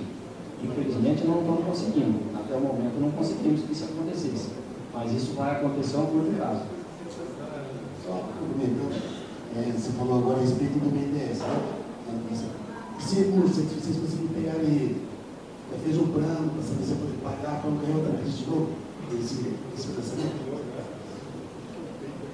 O Reginaldo vai responder para você. Na verdade, o BNDES já está aprovado, o contrato está aqui, já foi assinado, registrado, encaminhado para o banco, desenvolve São Paulo. O projeto inicial era de 5 milhões e meio mas como o governo Temer federal ele fechou a linha do BNDES até fevereiro do ano que vem, se eu não me engano, como o nosso projeto está aprovado, porque a Santa Casa tem viabilidade econômica e financeira, então, nós conseguimos aqui no governo do estado, através do Banco Desenvolve São Paulo. Então, agora vai, vai sair o dinheiro, nós já temos uma relação de credores a serem pagos, só que esse dinheiro não vem para a Santa Casa, ele vai ficar no Banco do Brasil, nós vamos fazer a indicação dos credores a serem pagos e o Desenvolve faz o pagamento. E assim que vai funcionar o, o trâmite desse dinheiro. Então, não vem o dinheiro para a Santa Casa ele, ele, não foi, ele não saiu na sua totalidade. Eh, ele saiu parcial ao que foi proposto. É, recentemente eles ainda colocaram os valores lá. Então saiu, e isso daí nós vamos estar adequando na, na coisa para que a Santa Casa funcione. Dentro dessas prioridades está o salário do funcionário. Ele já está já tá aprovado, já, tá, foi, já foi enviado para São Paulo, o 19 São Paulo já foi pago a taxa que, que se faz necessário para que use dinheiro. O dinheiro não vai ser movimentado por ninguém da Santa Casa. O, dinheiro é movimentado pelo Banco do Brasil. Nós vamos passar os credores, fazer as negociações e eles vão fazer. Fique bem claro, para que é, muita gente acha que nós, esse dinheiro vai vir para a conta da Santa Casa e nós vamos fazer é, da forma que nós entendemos. Não é dessa forma. Quem vai ter a movimentação, nós temos que fazer uma planilha e essa planilha é o que eles vão estar cumprindo em São Paulo para fazer o pagamento. Não vai ser feito de pessoa, pessoa física, ele é tudo pessoa jurídica. Tá? Ele só se enquadra nesse, nesse, nesses pagamentos das pessoas jurídicas. A palavra é do João Paulo Ronaldo. Obrigado, senhor presidente. É rapidinho, porque a gente observou que a Santa Casa precisa diminuir os gastos e aumentar os seus recursos. E diminuir os gastos é, foi falado com o Maria Augusto em relação a, a providenciar uma frente para que o munícipe é, faça o atendimento com de saúde antes para Santa Casa. Eu acho que a prevenção é a melhor saída hoje, mas é focar um pouquinho a Santa Casa. Colocar nos postos de saúde, como já foi feito anos atrás, inclusive, né, a senhora estava lá no postinho da Vila Luísa, o educador físico ou o fisioterapeuta para que ministre aulas de atividade física para aumentar seu bem-estar. Assim, deu a pedido, que já foi concretizado naquela época, a diminuição das pessoas migrarem para Santa Casa. Se é possível fazer isso. Até conversamos com a Suzy, quando era secretária, estava adiantado, mas que não veio à tona. Se a prefeitura tem a possibilidade de fazer isso em cada postinho, o educador físico para ministrar aulas, para que essas pessoas saiam do sedentarismo e, consequentemente, diminuam a ida à Santa Casa. Uma outra pergunta rapidinho, a questão do atendimento aos presos. Como a Santa Casa lida com isso? É um dinheiro que o Estado repõe? É um dinheiro que o Estado coloca, porque nós temos quatro unidades prisionais na nossa, duas no nosso município e duas na nossa região. Será que o Estado está fazendo a parte dele? Será que nós, vereadores, prefeitos, vice-prefeitos e Santa Casa estamos fazendo um trabalho? Ou podemos fazer um trabalho de frente para arrecadar um recurso maior para que a Santa Casa também? Porque a gente sabe, está lá duas horas a pessoa esperando, chega um preso e ele tem que passar na frente. Eu não estou dizendo que não tem que ser atendido. Eu não estou dizendo isso. Eu estou dizendo que tem que ser muito bem feito. Porque se o Estado não repassa, quem gasta o dinheiro no pronto-socorro é o município e dentro da Santa Casa é a Santa Casa. Então eu queria saber essas duas perguntas. Obrigado. Um pouco antes de eu sair, o Wagner, que risco, ele entrou na saúde, então começou um trabalho. A gente sabe que o correto seria ter mais, mas pelo menos já iniciou um trabalho. O Wagner faz uns 60 dias já está né, fazendo isso, né? E aí eu acho que realmente isso é, é fundamental, né? Trabalhar a prevenção, a saúde, é, diminuir o peso, é, a alimentação correta é realmente fundamental. Né? É, a questão da penitenciária, eu falo, assim, eu, eu falo que é uma, realmente é uma discussão muito séria, né? É, gente, nós, é uma questão que a gente fala constantemente, porque quantos bem nós temos penitenciária 2, penitenciária 1, temos o centro de detenção de Caiuá, temos Marabá, vai aumentar mais um. Então, assim, já tem sim uma conversa junto ao governador de estado que consiga é, fazer um repasse para isso. Isso é uma conversa. Mas isso que você falou realmente é essencial, fazer política. É essencial porque hoje a Santa Casa, ela não aguenta mais, antes da gente fechar o UTI, teve um único preso que ficou 15 dias, foi isso? 20 dias. É, eu não sei se foi muitas vezes, muito tempo na UTI, e esse gasto não tem só com esse preso naquele mês foi 56 mil reais. Então, assim, é, hoje, um, um trombolítico, que é um paciente que chega infartado, uma caixinha, que é desse tamanhozinho, é 6 mil reais. E o paciente necessita desse medicamento para tomar quando ele chega infartado. Então, hoje, você trabalhar média e alta complexidade é muito caro, muito caro. Então, realmente, a gente precisa realmente fortalecer essas políticas, fortalecer convênios fixos, convênios fixos, não convênios que eles começam e terminam. Isso eu acho que é importante. Eu acho que é, eu acho que é essencial. A vida do ano vai ser importante, vai diminuir muito a demanda do pronto-socorro também. E eu penso que a gente precisa realmente trabalhar essa, essa política de união, né? realmente que falem as mesmas coisas. Obrigado. É, como já disse no início aqui dos nossos trabalhos, é, nesse momento passarei a, a palavra a vocês aqui na plateia hoje para que se faça assim, uma pergunta sobre questionamento a respeito da situação da Santa Casa. Eu queria, por favor, é, que se osteoporótico para que se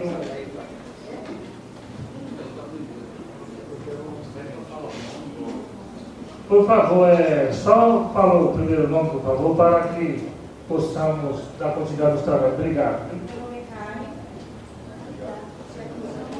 funciona?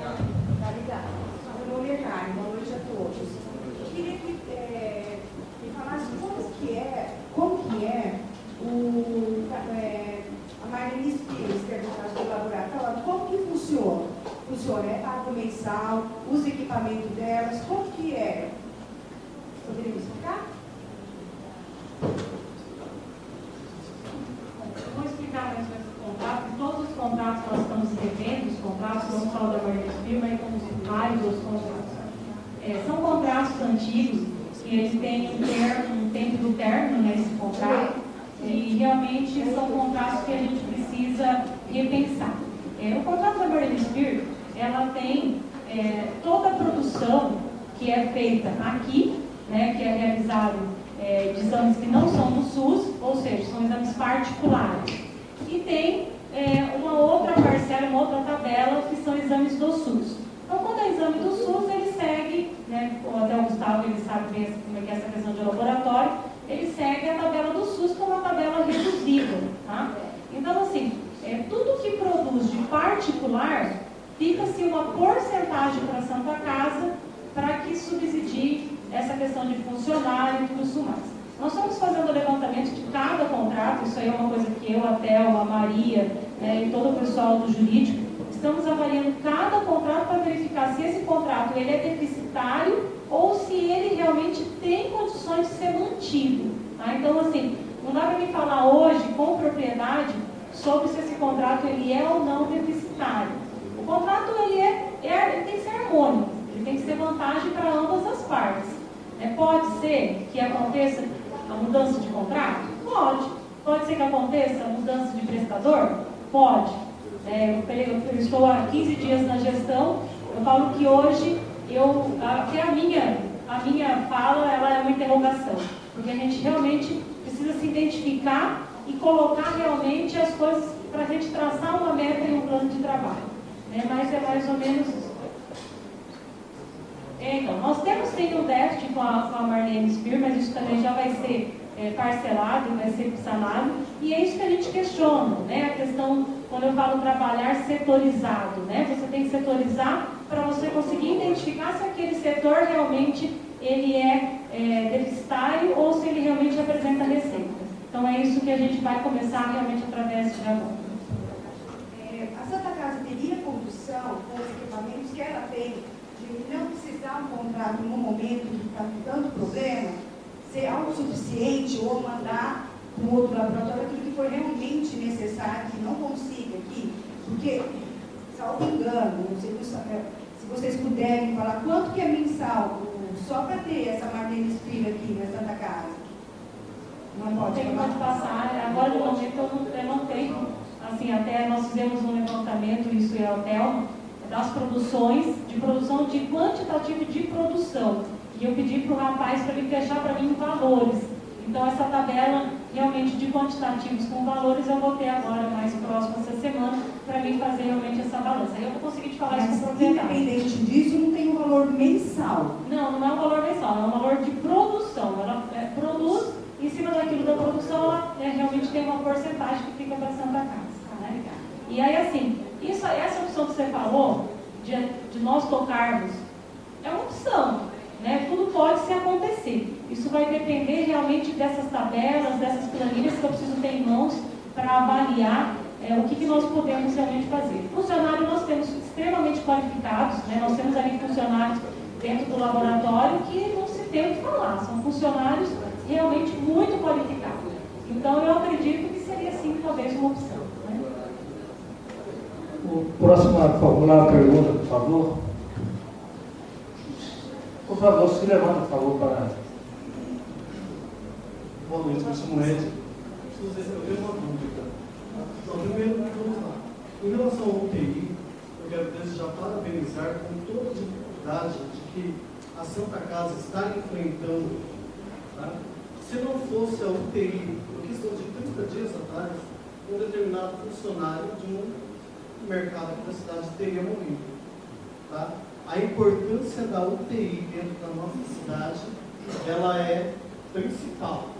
Ela está sendo principal. No momento não é somente para julgarmos, vamos somar. Tá? E em relação à demanda de pacientes que ali passam pelo PS durante o dia, a lotação imensa, porque no CSF faltam médicos. Existe a possibilidade de se criar mais postinhos na cidade para que diminua o fluxo da Irmandade? Por quê? Até então, muitos deixam de ir no ESF, eu acho que o João Paulo e o Gustavo Eles procuram o PS por quê? Vai realizar o exame, vai ser medicado, então eles não querem hastear. Eles esquecem da urgência e emergência. Chega pessoas ali, sim, tem urgência e emergência. Então é bem claro, isso é verídico. E eu vivencio isso direto aqui. Então, assim, não é uma questão de puxa-saquismo, é verídico. Existe a possibilidade de uma ampliação de mais postinhos na cidade Vai passar para Maria Augusta, porque assim, no meu ver, no momento não tem. Para a Maria Augusta responder. É, a gente, em termos de município, a gente tem um plano né, que está traçado. É, e tem também isso. A gente teve sim esse pensamento de melhorar a assistência é, ampliando, atingindo um pouco mais de, da, da população em si, não é? Mas o nosso objetivo é aquilo que o João Paulo colocou, a gente tem, as, as unidades que a gente tem aberta, Ed, a gente precisa realmente investir no nosso papel, que é a promoção e a prevenção. Então, esse talvez seja um foco importante que a gente tem que se debruçar, tá certo? Para que a gente possa fortalecer. A questão das portas abertas, a gente consegue atingir. A gente tem uma leitura melhor em relação à unidade central, que é o centro de saúde, que atende uma parcela maior. Ela não é uma ESF, é uma unidade que a gente, uma unidade mista, em que a gente tem uma gama de ofertas de serviços diferenciados do ESF. Então, o desafio maior, eu creio, que é a gente fortalecer essa atenção básica, tá, Ed? E a gente tem que ver assim, o ESF, a proposta dele não é centrada só no médico. É importante esse profissional? Sim, então a gente tem que fortalecer que é uma equipe multiprofissional. Então, esse é um desafio maior. Que a população também acredite que o atendimento não é exclusivo do médico. É necessário, sim, cada um na sua competência. Mas que a gente precisa ter essa mudança também de que ali é uma equipe multiprofissional.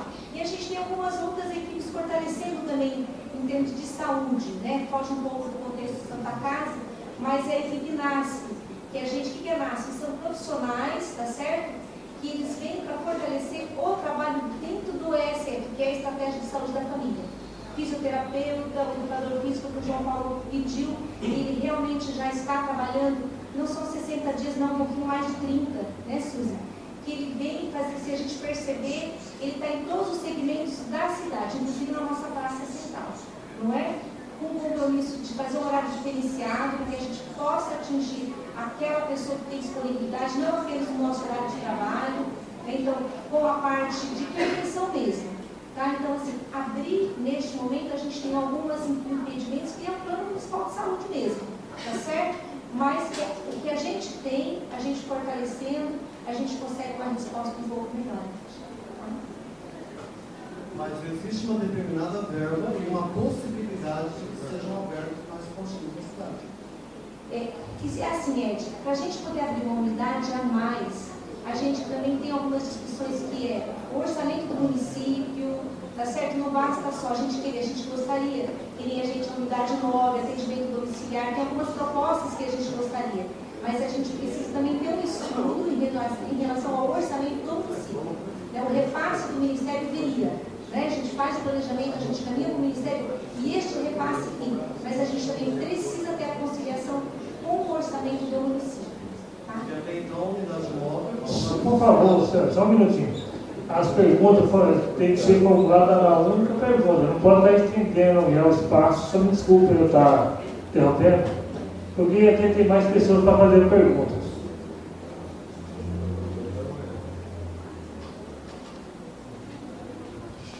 Boa noite a todos. Cumprimento o senhor presidente, a mesa composta pela diretoria da Santa Casa, os vereadores e principalmente a população de Presidente Venceslau.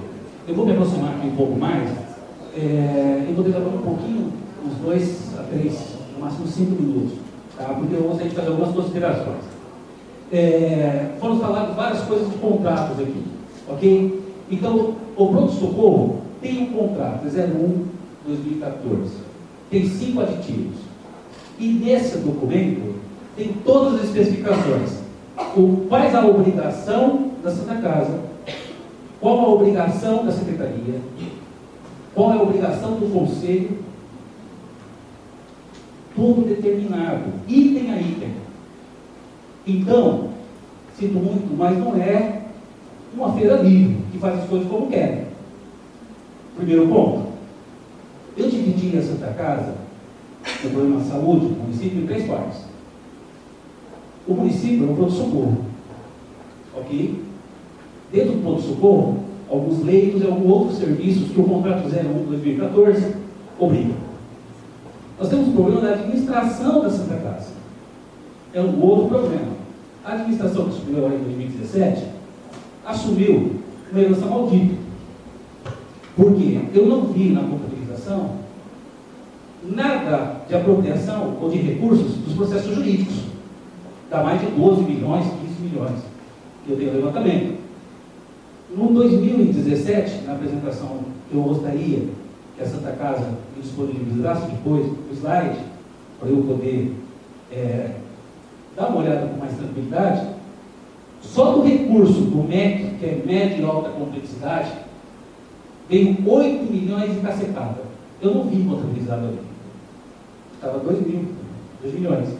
Não vi. Então pode ser que eu tenha comido drone, não tenha ouvido direito. Então por isso que eu estou pedindo o slide. Ok? É...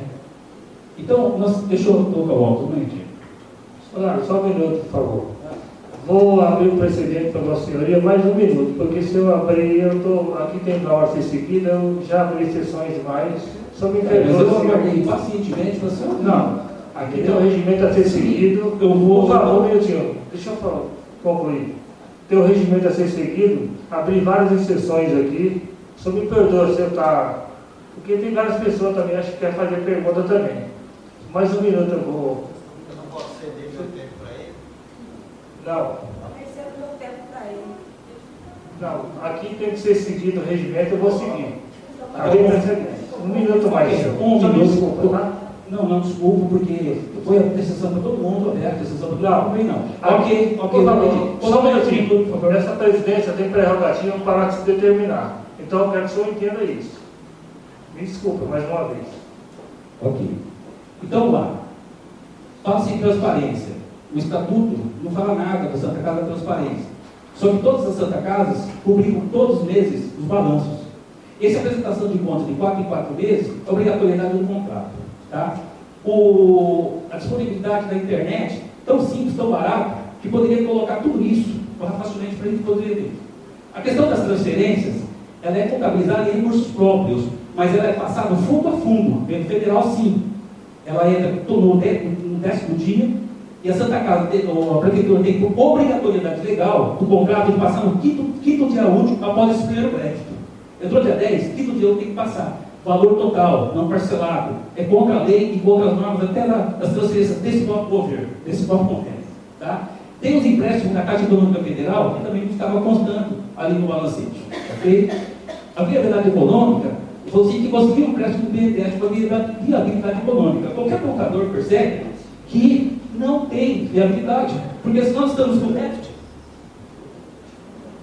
desculpa, a regra, mas me sinto prejudicado, porque todo mundo teve exceção. Eu O povo quer saber, gente. O povo quer saber. Não. O que é que ele fale. É uma audiência pública. Presta presta atenção, ó. Aqui tem que ser seguido, a regra vai ter que ser seguida. Essa presidente tem prerrogativa para ser seguida.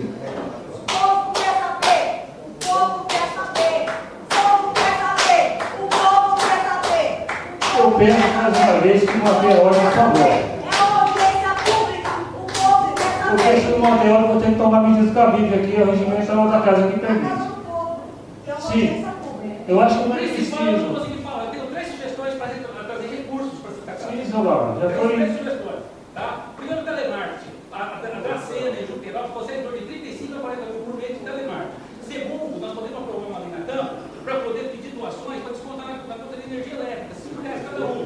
Tá? E terceiro, contratar uma empresa para fazer o certificado. Porque todo mundo vem aqui, pega o nosso dinheiro e vai para outro lugar. Então, eu tenho três sugestões para ajudar nos recursos. Ok? Sim, eu Mas, infelizmente, você não me- É, eu vou me retirar.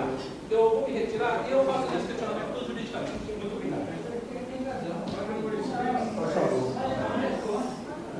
Eu não sei se você deve responder, porque já que ele não quer iniciar a resposta, né? então eu fico sem dúvida para entender se eu devo responder ou não questionamento dele, já que ele saiu. É, em primeiro lugar, quando ele olha lá no MAC, o recurso que tem do MAC, 8 milhões, é para todo o município de Presidente Venceslau. Ele não é exclusivo somente da Santa Casa. Os repasses da Santa Casa, eles são o IAC, o ambulatorial e a IH, que são as internações. Esse já citei, ele dá um valor hoje líquido de 218 reais. Isso por mês. Aí vocês calculam e vê quanto que dá isso daí por mês. Isso daí é- eu provo em relação a todos os repasses que são feitos via Prefeitura e Santa Casa. Então, eu acho que se o senhor ele procurou, ele deveria simplesmente procurar de forma mais é, realmente que seja verídica aquilo que ele esteja falando. Né? Segundo, quando eu falo dos repasses federais, e isso daí, é, isso aí também é tudo provado através de repasses e tudo isso mais, os valores, eu já falei isso várias vezes aqui, recurso próprio é recurso próprio. A prefeitura ela fez um contrato e o recurso próprio da prefeitura ela vai transferir para a Santa Casa conforme o contrato exigente. A questão dos repasses federais, eles são feitos rigorosamente, a partir de entra o dinheiro na conta da prefeitura, é repassado para a Santa Casa. Então, assim, é, eu acho que, eu não sei é, se esse senhor, eu acho que independente disso, eu acho que a gente realmente é, quer esclarecer as coisas aqui. A questão do empréstimo, eu acho que eu vou pedir para a Thelma falar, porque foi colocado tudo, porque foi o que eu pedi para a Thelma que colocasse tudo no papel. Ninguém está aqui para responder nada. Né? Então, eu acho que, né, não sei né, como é que seria a resposta para esse.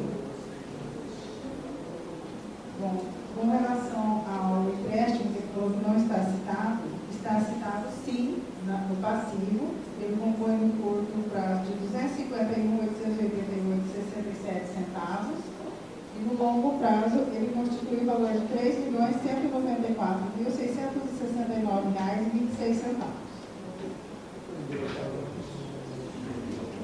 Eu acho que a questão realmente é, de trabalhar isso daí, é, eu acho que nós estamos aqui realmente para trabalhar isso. Eu acho que se a pessoa tem que ter acesso a isso, eu peço que eles né, venham junto trabalhar junto ao Conselho Municipal de Saúde. Se candidate ao Conselho Municipal de Saúde, que é um órgão fiscalizador, daí você vai ter direito a todas as suas respostas merecidas.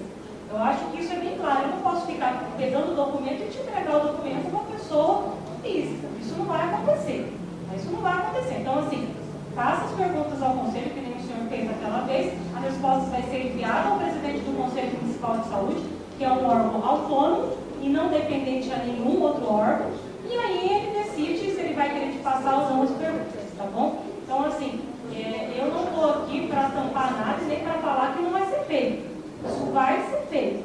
E se tem dúvida, a minha porta da secretaria, da secretaria não, da, da diretoria está aberta e eu, meu marido está aqui, ele prova, eu estou entrando 7 horas da manhã e fico até as 10 da noite. Ela fica aberta, quem quiser conversar comigo. Eu não estou aqui para responder nada, tá bom? Próximo a fazer a pergunta, por favor. Senhor presidente, eu perguntei um, um por um e todos disseram que não tem mais perguntas a fazer. Posso fazer? Boa noite.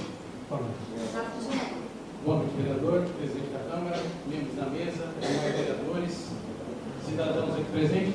Eu sou o Marcos Maia e eu vim aqui representar o Rotary Club. É, eu acho que não adianta a gente vir aqui só ouvir, né, embora eu tenha ficado, tenha sido esclarecedor até a, a apresentação da Thelma e as palavras da Suzy, mas a gente também tem que vir aqui apresentar alguma sugestão, alguma forma de tentar ajudar. E na semana passada, no meu clube, na reunião, a gente tratou sobre esse assunto que teria audiência pública hoje. E naquela reunião, o meu clube e os companheiros lá, nós pensamos o seguinte: é, na nossa Santa Casa, o cartão de visitas é o pronto-socorro. Os números aí que vocês apresentaram provam isso: 153 atendimentos como média ao mês, é, média diária né, durante seis meses, é claro, é, é óbvio. Se, o ideal seria de 40, 60, também estaria demonstrando isso. E nós temos um repasse da prefeitura, feito no contrato, que é destinado ao pronto-socorro de 325 mil.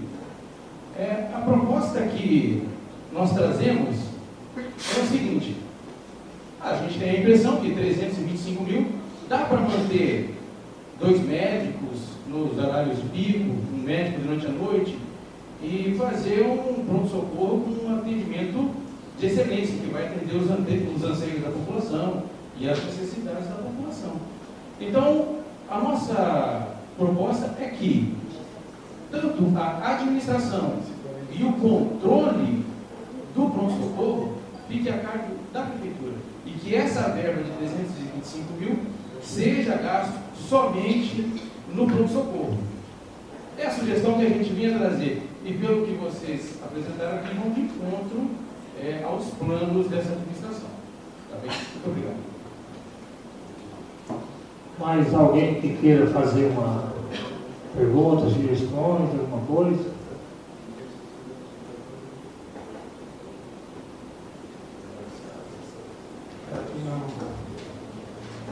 Queria agradecer aqui a, a, a, a Souza, o Luiz, aqui a, o secretário de saúde, pela a recepção que foi hoje aqui, veio esclarecer realmente a situação que se encontra em Santa Casa, e para a população saber qual a real situação.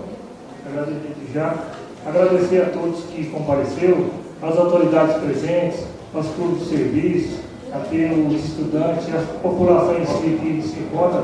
E peço desculpas se caso a gente tomou alguma medida, mas para que o trabalho seja novamente seguimento com a harmonia envolver esta noite. E desde já, queria agradecer aqui aos funcionários pela colaboração do trabalho dessa noite e declaro encerrado os trabalhos nessa audiência hoje. Muito obrigado.